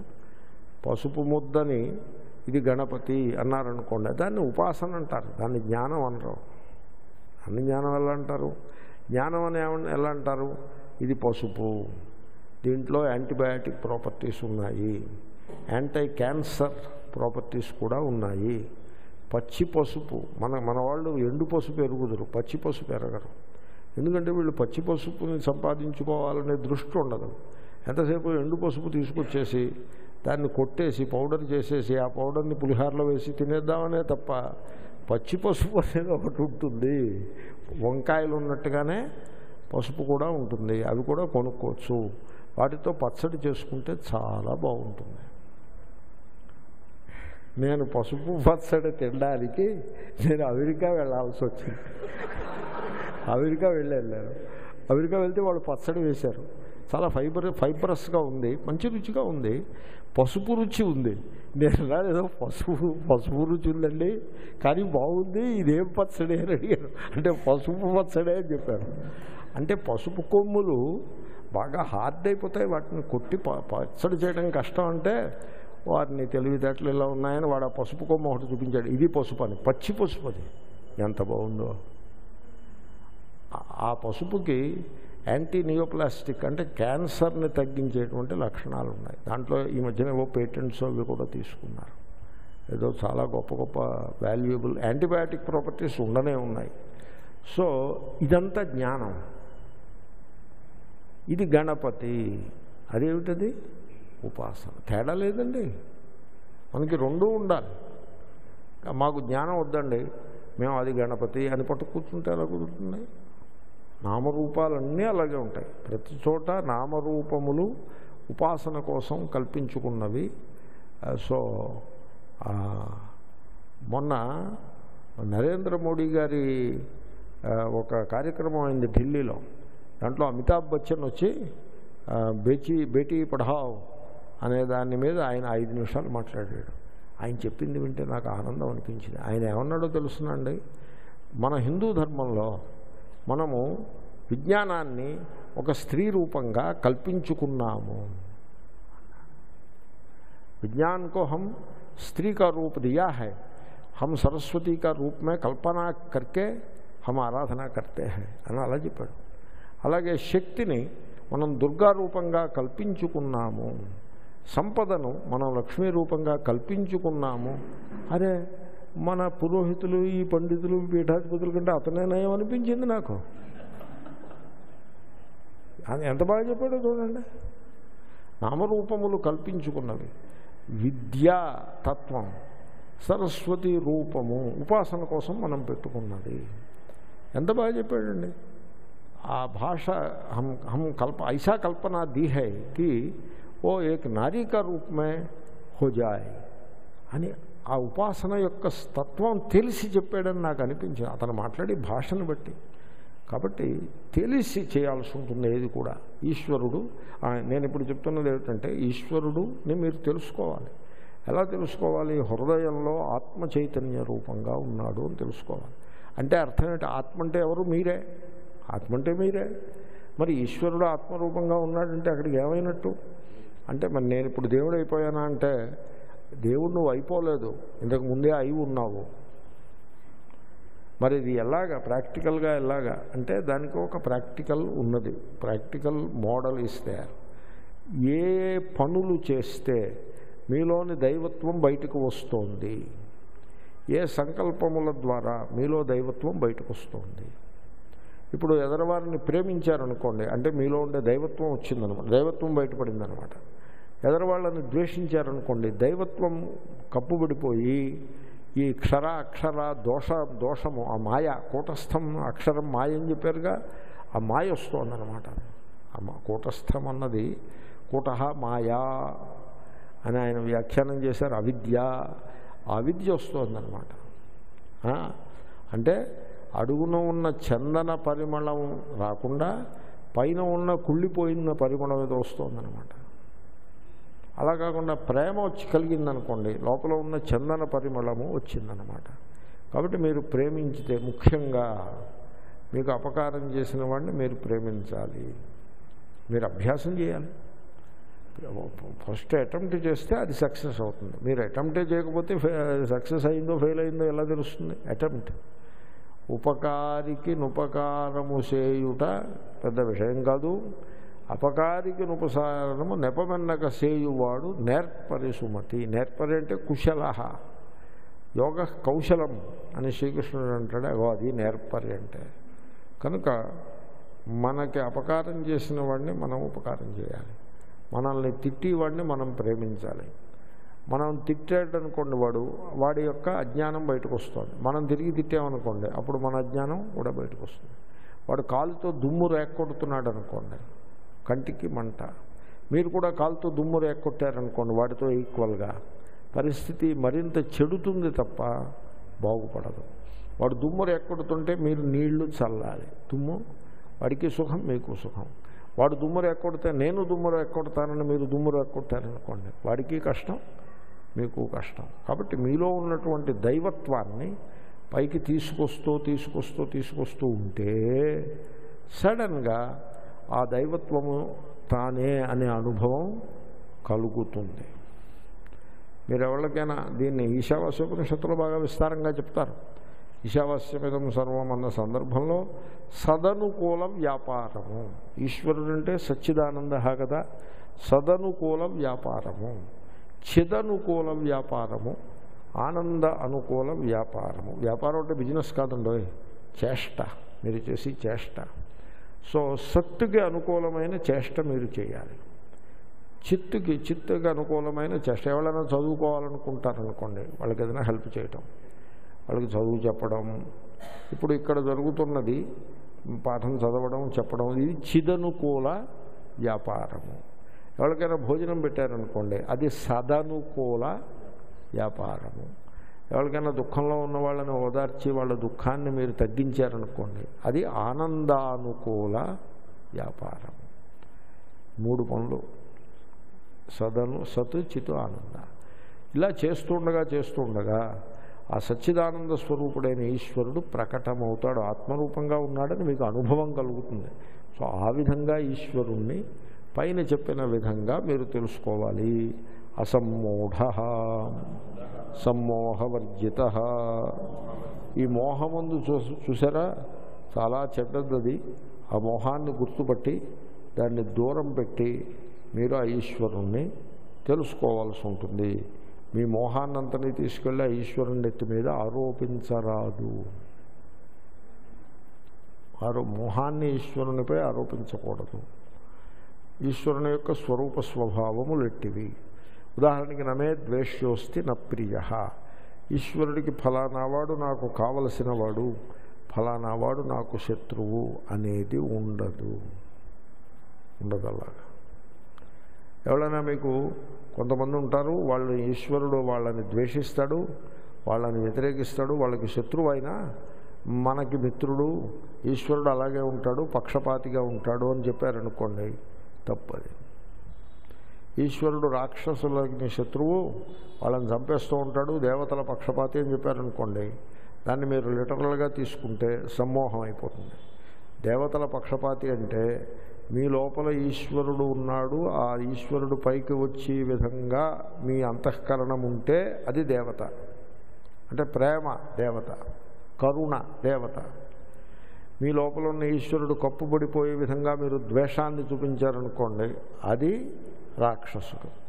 మీరు ఇతరుల ఏడల క్రూరంగా ఉన్నారనుకోండి క్రూరము. అంటే వాడు కష్టం పడ్డా నాకు పర్లేదు నా సుఖమే నాకు అని మీరు అనుకున్నారనుకోండి గుర్రబండి ఎక్కి వెళ్ళిపోతున్నారనుకోండి ఆ గుర్రము ఏడల క్రౌర్యమును మనం ప్రదర్శించినట్టే కదా. రెండెట్ల బండి ఎక్కేసి వెళ్ళిపోతున్నారనుకోండి ఎద్దుల ఏడల క్రౌర్యము. మీరు ఏమీ సెన్సిటివిటీ లేకుండా క్రూరంగా ఉన్నారనుకోండి మీరే కంసుడు. మీకు డబ్బే ప్రధానం. కసిపు అంటే బొంత హిరణ్యం అంటే బంగారం. బంగారం అంటే పూర్వం డబ్బు కూడా బంగారం. ఆ బొంత లోపల వంద రూపాయల కాగితాలన్నీ కుక్కుని ఆ బొంత భుజం మీద వేసుకు తిరుగుతున్నారనుకోండి. సంథింగ్ సిమిలర్ టు దట్ మీరు చేస్తున్నారని. పూర్వం వాళ్ళు అలాగా మొరటుగా ఏడిసేవారు ఇప్పుడు అలా మొరటుగా చేయరు. చాలా సోఫిస్టికేటెడ్గా చేస్తారు. మొత్తానికి అలా మీరు చేస్తున్నారనుకోండి మీకు మీరే హిరణ్యకశిపుడు మీ దృష్టి ఎప్పుడు డబ్బు మీదే ఉందనుకోండి. ఎప్పుడు డబ్బే. పూజ సహస్రనామ పూజ చేద్దాము. చదివింపులు ఎంత వచ్చాయి మనం పెట్టిన ఖర్చు అంతా మనకు వచ్చిన ఆదాయం ఎంత? లాభం వచ్చిందా? నష్టం వచ్చిందా? తర్వాత శ్రీయాగము చేసినాము. మూడు రోజుల యాగం పందిళ్ళు అది వేసి చేసినాము. మనకి ఖర్చు మూడు లక్షలు అయింది పందిళ్ళకి వాటికిను భోజనాలకి దానికిను. కానీ మనకి చందాల రూపంగా నాలుగు లక్షలు వచ్చాయి కాబట్టి లాభం కలిగినది. అని ఎప్పుడు చూపు డబ్బు మీద బంగారం మీద ఉందనుకోండి. లేకపోతే అక్షయ తృతీయ వస్తుంది. ఏదైనా ఒక రెండు తులాల బంగారం మనం సంపాదించేయాలి. బంగారం వస్తుంటే లక్ష్మీదేవి వచ్చినట్టే. బంగారం వస్తూ ఉండాలి వస్తూ ఉండాలి వస్తూ ఉండాలి. అలా ఉందనుకోండి మీ దృష్టి. మీరే హిరణ్యాక్షుడు. ఇంకా వేరే ఎవడో హిరణ్యాక్షుడు రాదక్కర్లా మళ్ళీ ఆయన వరాహావతారం ఎత్తాల్సి ఉంటుంది మీకోసం మీరే హిరణ్యాక్షుడు. తర్వాత వేదము జ్ఞానం ఉందనుకోండి. జ్ఞానాన్ని మీరు తిరస్కరించారనుకోండి. వేదాలను ఎవడో రాక్షసుడు అపహరించుకుపోయాడన్న మీరు కథ విన్నారా? ఆ రాక్షసుడు మీరే. వాడి పేరు ఏదో హైగ్రీవాసురుడు ఏదో సోమ సోమకాసురుడు. మీరే సోమకాసురుడు. మీరు వేదం జోలికి జ్ఞానం జోలికి ఎప్పుడు గీత జోలికి వెళ్ళకుండా ఆ మోహంలో ఉండిపోతే మీరే సోమకాసురుడు. తర్వాత మీరు ఎప్పుడూ తమో గుణంలోనే ఉండి సత్వగుణాన్ని పూర్తిగా దూరం పెట్టారనుకోండి. తమో గుణము అంటే ఎలా ఉంటుంది? సోమరిధనము తిండిపోతు లక్షణము తర్వాత జ్ఞానమునకు దూరముగా ఉండుట ఇవి తమోగుణ లక్షణాలు. ఇంకా ఇలాంటివి ఇవ్వకుండా ఉంటాయి. హింస ఇత్యాదులు కూడా తమోగుణంలో పడతాయి. ఆ లక్షణాలు పెట్టు కూర్చున్నారనుకోండి మీరే మహిషాసురుడు. ఇప్పుడు దేవి రావాలి మీకోసం. మహిషాసురుడు అంటే రెండు కొమ్ములు ఉంటాయనుకుంటారు. సినిమాల్లో ఉంటాయి అలాగా. కాబట్టి దేవుడికి ద్వేషింపదగినవాడు కానీ ప్రియమైనవాడు కానీ ఎవడు ఉండడు. సర్వసముడు ఈశ్వరుడు సముడు ఆయన సో విష్ణు సహస్రనామంలో సమహ అనే నామం ఉంటుంది గీతలో పదిసార్లు వస్తుంది. సో విష్ణు సహస్రనామం చాలా స్టాండర్డ్ సహస్రనామం. దాంట్లో నామాలన్నీ కూడా వేదాంతపరంగా చాలా గొప్ప ఎలివేట్ చేసేవిటిగా ఉంటాయి. మనవాళ్ళు దాన్ని పారాయణ చేస్తాం. పారాయణ చేయడం అంటే ఏమిటి? కొబ్బరికాయ పచ్చడి ఎలా చేస్తారో తెలిసిన కొబ్బరికాయ పచ్చడి చేసినట్టు. దాన్ని పారాయణ చేస్తూ ఉన్నాం కొబ్బరికాయ పచ్చడి చేసినట్టు. సో మంచిది. పదిసార్లు చదివితే మంచిది. పదిసార్లు చదివినప్పుడు కనీసం నాలుగు సార్లు అయినా భావన ఉండాలి. నాలుగు సార్లు భావన ఉంటే ఒకసారైనా ఆ భావన లెవెల్కి వీడు ఎదగగలుగుతాడు జీవితంలో. అలాగా అలా ఉండాలి. సో ఈ విధంగా ఈశ్వరుని ఎవడైతే తెలుసు మోహవర్జిత సార్ మోహాన్ని మోహం అనే మాట వచ్చిందంటే నేనేవో ఇలాంటివి పోగేసి చెప్తూ ఉంటాను ఎందుకు చెప్తారంటే ఎవరినో అనాలని నా ఉద్దేశం కాదు. మీరు మోహం లేకుండా ఉండాలని నాకు నా కోరిక. మీరందరూ పెద్దలు మీ అమ్మకడుపు చల్లగా మీరు మోహానికి దూరంగా జ్ఞానాన్ని పొంది కృతార్థులు అవ్వాలని నాకు పెద్ద కోరిక. అందుకోసం మోహాన్ని అలా ఏకరవు పెడుతూ ఉంటాను. ఇదిరా మోహం ఇదిరా మోహం ఇదిరా మోహం అని చెప్తూ ఉంటాను. హెడ్ మాస్టర్ లాగా బిహేవ్ చేస్తూ ఉంటాను. కాబట్టి మీరు కొంచెం పూర్వకాలం హెడ్ మాస్టర్లు అలా ఉండేవారు. పట్టుకుని బెత్తం పట్టుకుని దెబ్బలు కొట్టిట్లాగా ఉండేవారు పూర్వకాలం హెడ్ మాస్టర్లు. నేను అలా బిహేవ్ చేస్తాను. ఎందుకంటే out of love okay labour of love అంటారు. కాబట్టి మోహము లేనివాడై మోహవర్జిత సన్ జానాతి తెలుసుకుంటున్నాడు. ఏమంటే ఎలా తెలుసుకుంటున్నాడండి? శంకర్లు ఎలా చెప్పారో చూడండి. శంకర్లు ఏమంటారు? ఎలా తెలుసుకుంటాడో చూడండి. అయమహమస్మి ఇది పురుషోత్తమం. ఆ పురుషోత్తమముని జానాతి ముందు పెట్టుకోవాలి మీరు. పురుషోత్తమం జానాతి పురుషోత్తముణ్ణి తెలుసుకుంటున్నారు. శ్లోకంలో ఆ వరస ఉందిగా జానాతి పురుషోత్తమం అని ఉంది కదా. ఆయన మీకు అన్నీ అరేంజ్ చేసి పెట్టరు. నోట్లో పెట్టినట్టుగా. ఏ ఏ ఏ వరసలు వరుసలో ఉంటే ఆ వరుసలోనే అర్థం చెప్తారు. అరేంజ్మెంట్ మీ మీ బాధ్యత అది. జానాతి పురుషోత్తమం అంటే జానాతి తెలుసుకుంటున్నాడు. పురుషోత్తముని ఈ తర్వాత ఏమిటి? తర్వాత ఇంకేమీ లేదు. ఈ పురుషోత్తముని ముందుకు తెచ్చుకోవాలి. పురుషోత్తముని తెలుసుకుంటున్నాడు. ఎలా తెలుసుకుంటున్నాడో తెలిసిన? అయమాత్మా బ్రహ్మ అని మహావాక్యం మాండూక్యంలో. అయమాత్మా బ్రహ్మ. అయం ఈ నేను అహమస్మి అయమహమస్మి ఈ నేను అంటే నేను యొక్క యథార్థ స్వరూపం. నేనుని మీరు స్థూల దృష్టితో చూశారనుకోండి దేహ దృష్టితో అదే క్షరపురుషుడు.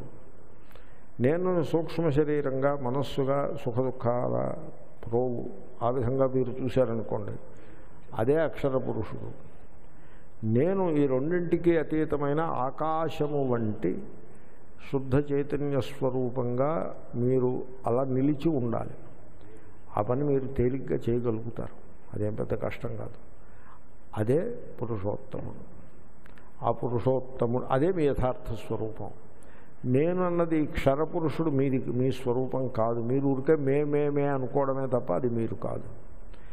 అక్షర పురుషుడు కూడా మీరు కాదు.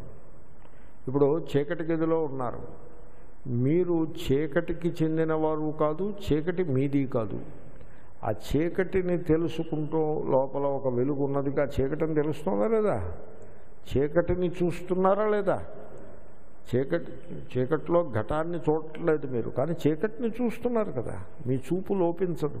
చూపు అలా ఉంటుంది ఎప్పుడు మీరు కళ్ళు మూసుకున్నారనుకోండి కళ్ళు తెరిచి ఘటాన్ని చూస్తున్నారు. కళ్ళు మూసుకుని కళ్ళు మూసిన విషయాన్ని మీరు చూస్తూ ఉన్నారు. ఆ జ్ఞాననేత్రంతో చూస్తూ ఉన్నారు. కాబట్టి అది ఆ ఆకాశము వంటి ఏ చైతన్యము గలదో మీ లోపల ఆ ఎరుక అది పురుషోత్తముడు.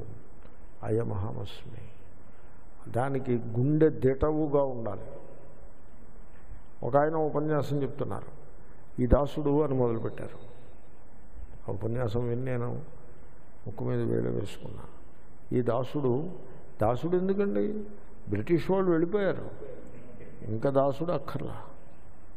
అయితే అలవాటైపోయింది మన సమాజంలో దాసుడిని దాసుడిని అనుకోవడం అలవాటైపోయింది. ఆ బ్రిటిష్ వాళ్ళు వెళ్ళిపోయినా కూడా ఇంకా మెకాలే బుద్ధి పోలేదు అని అప్పుడప్పుడు మన బీజేపీ వాళ్ళు వాళ్ళు అంటూ ఉంటారు. అలాగే ఈ దాసబుద్ధి ఇంకా పోలేదు. ఎందుకు దాసుడు ఎందుకు? ఆయన ఏమంటున్నారు చూడండి. అయమాత్మ బ్రహ్మానా లేకపోతే అయం దాసహానా? What do you want to say so ఈ దాసుడు అని మొదలుపెట్టారు. మొదలుపెట్టారు. నేను అనుకున్నట్టు అంత పని అయింది. ఇంకో రెండు నిమిషాలు అయ్యేప్పటికీ ఏమిటండి? దేవుడు నేనే అంటే అంత పొరపాటు అదే కానీ మరొకటి లేదు కదా? అన్నారు. అంటున్నారు. దేవుడు అక్కడ ఉంటాడు మనకేమో కోరికలు తీరుస్తాడు తప్ప దేవుడు అనుకుంటే మన కోరికలు తీర్చేవాడు ఎవడు ఉంటాడు ఇంకా? అని. ఆ దాసుడికి దీనికి సరిపడిందా లేదా? దానికి దానికి సరిపడింది.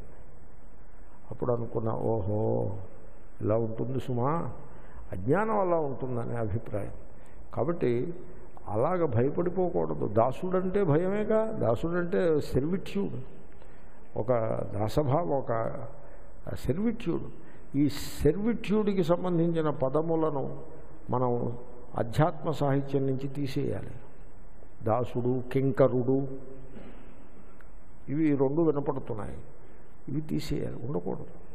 అవి అనవసరం కింకరుడు ఎందుకు ఇప్పుడు నేను మీకు ప్రేమగా ఏదైనా సమర్పించాననుకోండి నేను కింకరుణ్ణి అయిపోవాలా దానికోసం?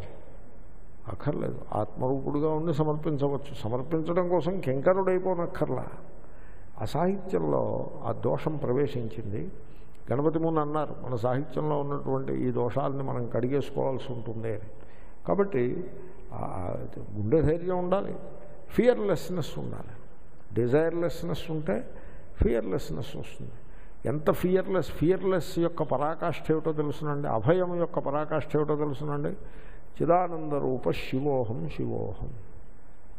That is the fearless Kashi విశ్వేశ్వరుడు ముందు నిలబడి శివోహం శివోహం. అది ఫియర్లెస్ బీ లైక్ దాట్ అయమహమస్మి. ఈ పరమేశ్వరంలో నేనే అగుచున్నాను ఇది పురుషోత్తమం. పురుషోత్తమం జానాతి. ఆ జానాతి వెనకాల పెట్టుకోవాలి మీరు అని ఈ విధంగా పురుషోత్తముని ఎవడైతే తెలుసుకుంటాడో స వాడు సర్వము తెలుసున్నవాడు. అంటే సర్వాత్మన సర్వం వేత్తీతి సర్వజ్ఞ. అది సర్వమునకు వాడు ఆత్మ అవుతాడు. సర్వమునకు ఆత్మగుటచే సర్వమును తెలిసిన వాడే అవుతాడు. క్షరము యొక్క ఆత్మ వాడే అక్షరము యొక్క ఆత్మ వాడే కాబట్టి క్షరము వాడికి తెలుస్తూ ఉంటుంది. ఇప్పుడు మీ దేహం మీకు తెలుస్తూ ఉంటుందో తెలీదా? మీరు ఎప్పుడైనా ఆలోచించారా? ఇటువంటివి సూక్ష్మంగా ఆలోచించాలి. దాన్ని దాంట్లో ఏముందిలేండి అని మీరు అన్నారనుకోండి మీకు దండం పెట్టినా దారిని పోతా. దాంట్లో ఏముందండి అనకూడదు. లోతుగా ఆలోచించాలి. మీరు డాక్టర్ దగ్గరికి వెళ్ళారనుకోండి ఆయనేదో మీకు చెప్పి మిమ్మల్ని ఉద్ధరిస్తాడని కదా మీరు వెళ్తారు. ఆయన మీకు చెప్తాడా? మీరు ఆయనకి చెప్తారా? మీరే ఆయనకి చెప్తారు. పూజ స్వామీజీ చెప్పారు కళ్ళజోడు డాక్టర్ కళ్ళ డాక్టర్ దగ్గరికి వెళ్ళి నా కళ్ళు సరిగ్గా కనపట్టలేదు. మీరు పరీక్ష చేసి మందిస్తారా? అద్దాలు మార్చి అద్దాలు వేయ అది అద్దాలు కూడా ప్రిస్క్రిప్షనే కదా మరి. మీరు ప్రిస్క్రిప్షన్ ఇవ్వండి మందు అద్దములు both are one whatever నా కళ్ళు సరిగ్గా కనపట్టలేదు నేను చదవలేకపోతున్నాను అని అంటారు. అనే వెళ్ళాడు ఒక ఆయన కుర్చీలో కూర్చున్నాడు. కుర్చీలో కూర్చునే ఉన్నా కదండి మళ్ళీ ఆ కుర్చీ ఎందుకు కాదు ఈ కుర్చీలో సరే పోను ఈ కుర్చీలో లేచి ఆ కుర్చీలో కూర్చున్నాను. ఎదురుకుండా గోడకేసి చూడు గోడకేసి ఎందుకు నేను చూడాలి? నేను చదవలేనని చెప్తున్నా కదా. నాకు చదవడం రాదు అని నేను చెప్తూ చదవలేకపోతున్నాను మీరు పరీక్ష చేసి మంది ఇవ్వండి అంటే గోడకేసి చూడంటే వేయండి గోడకేసి నేను చూడను. మీకేసో చూస్తా. అలా కదా గోడకేసి చూడు. పోనీ చూశాను గోడకేసి ఎదుర్కొన్నామని అక్కడ ఏముందో చదువు. నేను వచ్చింది దేనికి? నేను చదవలేకపోతున్నాను. నేను వస్తే అది మళ్ళీ చదవమంటావేటి నువ్వు పరీక్ష చేయి. అంటే మా ఆయన పరీక్ష చేసి తెలుసు ఆయన ఏమో అసలు పరిస్థితి ఆయనకి తెలియాలంటే మీరు చెప్తేనే ఆయనకి తెలుస్తుంది. మీరు చెప్పాలి. అప్పుడే తెలుస్తుంది. లేకపోతే తెలియదు సైకియాట్రీలో కూడా ఇలాగే ఉంటుంది. ఇప్పుడు ఒక పేషెంట్ డిప్రెషన్ పేషెంట్. ఏదో మందు మాకు అది అయింది. నేను అడిగాను ఏమంటే ఆరు మాసాల నుంచి మందు మీరు ఇప్పించిన మందు ఇప్పిస్తున్నాం కదా. ఆ వ్యక్తికి ఏదైనా ఇంప్రూవ్మెంట్ వచ్చిందా? అని నేను అడిగాను. అడిగితే ఆయన నా నువ్వు చెప్పు. అన్నారు. అనేప్పటికీ నేను ఆశ్చర్యపోయాను అలా చూస్తారేంటండి? మీరు చెప్పండి. మీరు కదా మీరు ఎక్కువసేపు మీరే చూస్తారు ఆ పేషెంట్ నేను చూస్తానా? అవే నేను కూడా అప్పుడప్పుడు చూస్తున్నా. పోనీ రోజు చూసి వాళ్ళని చెప్పమానండి. నన్ను అడుగుతారటి? అన్నాడు డాక్టర్. వారిని తెలివైన వాడు అనుకున్నాను లేదు అప్పుడు ఆయన నాకేం తెలుస్తుందండి? మీరు చెప్పింది ఏదో నాకు తెలుస్తుంది. ఆ రోజు చూసి వాళ్ళు ఉంటారు వాళ్ళని అడగండి. ఏమ్మా మీరు రోజు చూస్తున్నారు కదా ఇంప్రూవ్మెంట్ వచ్చిందా? అని అడిగాను. అక్కడే ఉన్నారు వారు. కొద్దిగా వచ్చిందా. అదిగో అది కరెక్ట్ అని చెప్పాడు ఆయన. కాబట్టి ఎవళ్ళో సర్వజ్ఞులు ఉంటారు ఎవళ్ళో సర్వాన్ని తెలుసున్న వాళ్ళు ఉంటారని మీరు అనుకోవద్దు సర్వము మీకే తెలుసు. మీ దేహం మీకు తెలుస్తోందా? అక్షరా తెలిసింది. మీ మనస్సు మీకు తెలుస్తోందా? అక్షరా తెలిసింది. మీ ఎరుక మీ మీకు దూరంగా ఉందా? మీకు దగ్గరగా ఉందా? మీకు అయిపోయింది. మూడు మూడుతోటి ఆఖరు. ఇంకా నాలుగోది లేదు. కాబట్టి సర్వమునకు ఆత్మయే ఉండుటచే సర్వమును వీడు తెలుసుకుంటూనే ఉన్నాడు కనుక వాడే సర్వజ్ఞుడు సర్వజ్ఞుడుగా ఉంటూ ఆ పరమాత్మని వీడు తెలుసుకుంటున్నాడు. సర్వభూతస్థం భజతి మాం. నన్ను భజిస్తున్నాడు. నన్ను భజిస్తున్నాడు అంటే ఎలాంటి నన్ను భజిస్తున్నాడు? ఇవన్నీ విప్పి చెప్పితే జనాలు అర్థం చేసుకోవాల్సింది పోయి మరోలా అనుకుంటారు. సంస్కృతంలో ఉంటాయి. సంస్కృతంలో ఉన్న వాటిని అలాగే అట్టి పెట్టేశారనుకోండి నో కాంట్రవర్సీ ఎలా ఉన్నదో అలా ఉండిపోతుంది. అజ్ఞానంలో ఉన్నవాళ్ళు అజ్ఞానంలోనే ఉంటారు అంతా స్మూత్గా పోతూ ఉంటుంది. కానీ దాన్ని విడదీసి చెప్పితే అంత గడబడే. ఎందుకంటే సమాజంలో ఉండేటువంటి భావజాలము శాస్త్ర దృక్పథానికి చాలా దూరంగా ఉంది.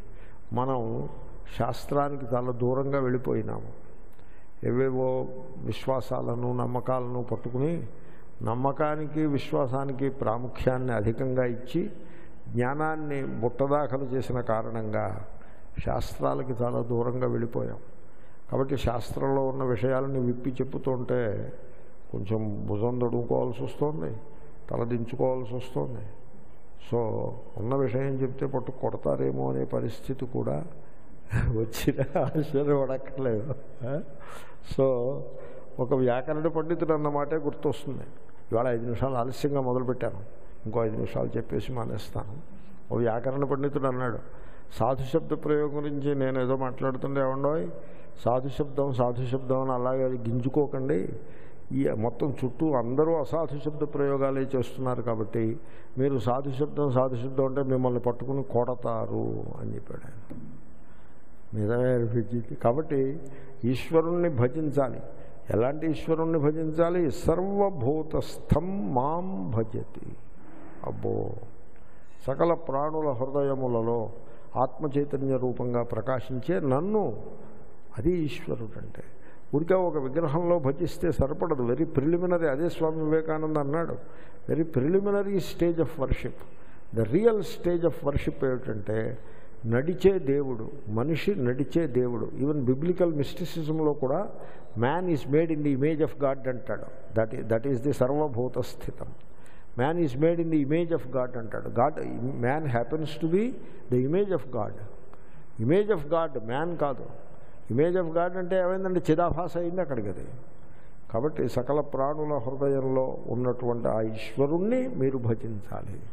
మీరు సకల ప్రాణులను నిందిస్తూ వాళ్ళనేమో నిరాదరణ చేస్తూ తిడితో కొడుతో పశువుని పక్షిని ఆ, తరుమే తరిమేసి మీరేదో పూజలో ఇవి చేస్తే అది ఏమన్నమాట అది ఎక్కడికి తేలేనది? పూజలో ఇవి చేసుకోండి. సర్వభూ ఏమన్నా హనుమంతుడిని ఆరాధించడం అంటే ఏమిటండి? కోతి కనపడితే దానికి అరటిపండు పెట్టారనుకోండి. అది కాలేదా హనుమంతుడి ఆరాధన? ఏమంటే మీరు చెప్పండి హనుమంతుడి మెడలో వడలు వేస్తే ఆరాధన అయిందా? లేకపోతే కోతికి అరటిపండు ఇస్తే ఆరాధన అయిందా? పోనీ అది కూడా మేము మీరు చేసుకోండి అది. కానీ వడల గురించి కొంచెం జాగ్రత్తగా తెలుసుకుని మీరు తప్పకుండా చేసుకోండి. కానీ కోతిని తరిమేయద్దు. కోతిని వాటి వాటి స్థానంలో మనం ఉంటున్నాం. ఒకప్పుడు పద్మారావు నగర్ అడవి కోతుల యొక్క నివాసం. వాటిని తరిమేసి మనం ఉంటున్నాం. కాబట్టి వీఆర్ ఉసర్పర్స్ లేకపోతే we are encroachers we have encroach కాబట్టి కోతిని దాని స్థానం అది స్వస్థానం అది. కాబట్టి కోతి కనపడితే దానికి ఒక పండు పెట్టడం. పశువు కనపడితే దానికి ఒక పండు ఇవ్వడం. ఎవడైనా భేదవాడు కనపడితే వాడికి ఏదైనా ఆహారాన్ని ఇవ్వడం. వీళ్ళందరి రూపంగా ఈశ్వరుడే ఉన్నాడు. సర్వభూత స్థితం మాం భజతి. ఎలాగా? సర్వభావేన సర్వాత్మచిత్తతయా. ఈశ్వరుడు అలాంటి చిత్తం భావం. ఏమిటి భావం? భావం అంటే చిత్తం. ఎలా ఉండాలి మీ చిత్తం మీ భావము? సకల ప్రాణుల హృదయంలో పరమేశ్వరుడు ఆత్మరూపంగా ఉన్నాడు. సర్వ ఆత్మ చిత్తతయ అటువంటి భావనతో మీరు ఆ ఈశ్వరుని ఆరాధించండి. హే భారత! ఓ అర్జున! మీరే అర్జునుడు. మీరందరూ కూడా భారత్తులే భారతీయులు కదా. భారత్ అంటే భారతీయుడు అంటే అర్జునుడు. కాబట్టి ఆ విధంగా మీరు పరమేశ్వరుణ్ణి ఆరాధించండి. మీరు పూజలో ఇవి చేసుకోండి. అవి చేసుకుంటూనే ఆ ప్రిలిమినరీ స్టేజ్ని మీరు అట్టే పెట్టుకుని అయితే దాంట్లో ఏదైనా మార్పులు జరుపులు చేసుకోవాలంటే మీకు ఏది సూటబుల్లో అది. ఇప్పుడు బంధువులు వచ్చారనుకోండి పూజ కొద్దిగా మార్చుకుంటారా మార్చుకోరా? అలాగే ఈ విజ్ఞానాన్ని కూడా ప్రవేశపెట్టి ఏదైనా మార్పు జరుపు అవసరమైతే చేసుకుంటూ దీన్ని బాగా మనస్సుకి తెచ్చుకోవాలి. శ్లోకం అనేసిద్దాం యో మామేవమసమ్మూఢ జానాతి పురుషోత్తమం. సర్వవిద్భజతి మాం. సర్వభావేన భారత. ओम पूर्णमद पूर्णमिदम पूर्णात् पूर्णमुदच्यते पूर्णस्य पूर्णमादाय पूर्णमेवशिष्य ओम शांति शांति शांति। ओम त्र्यंबक सुगंधि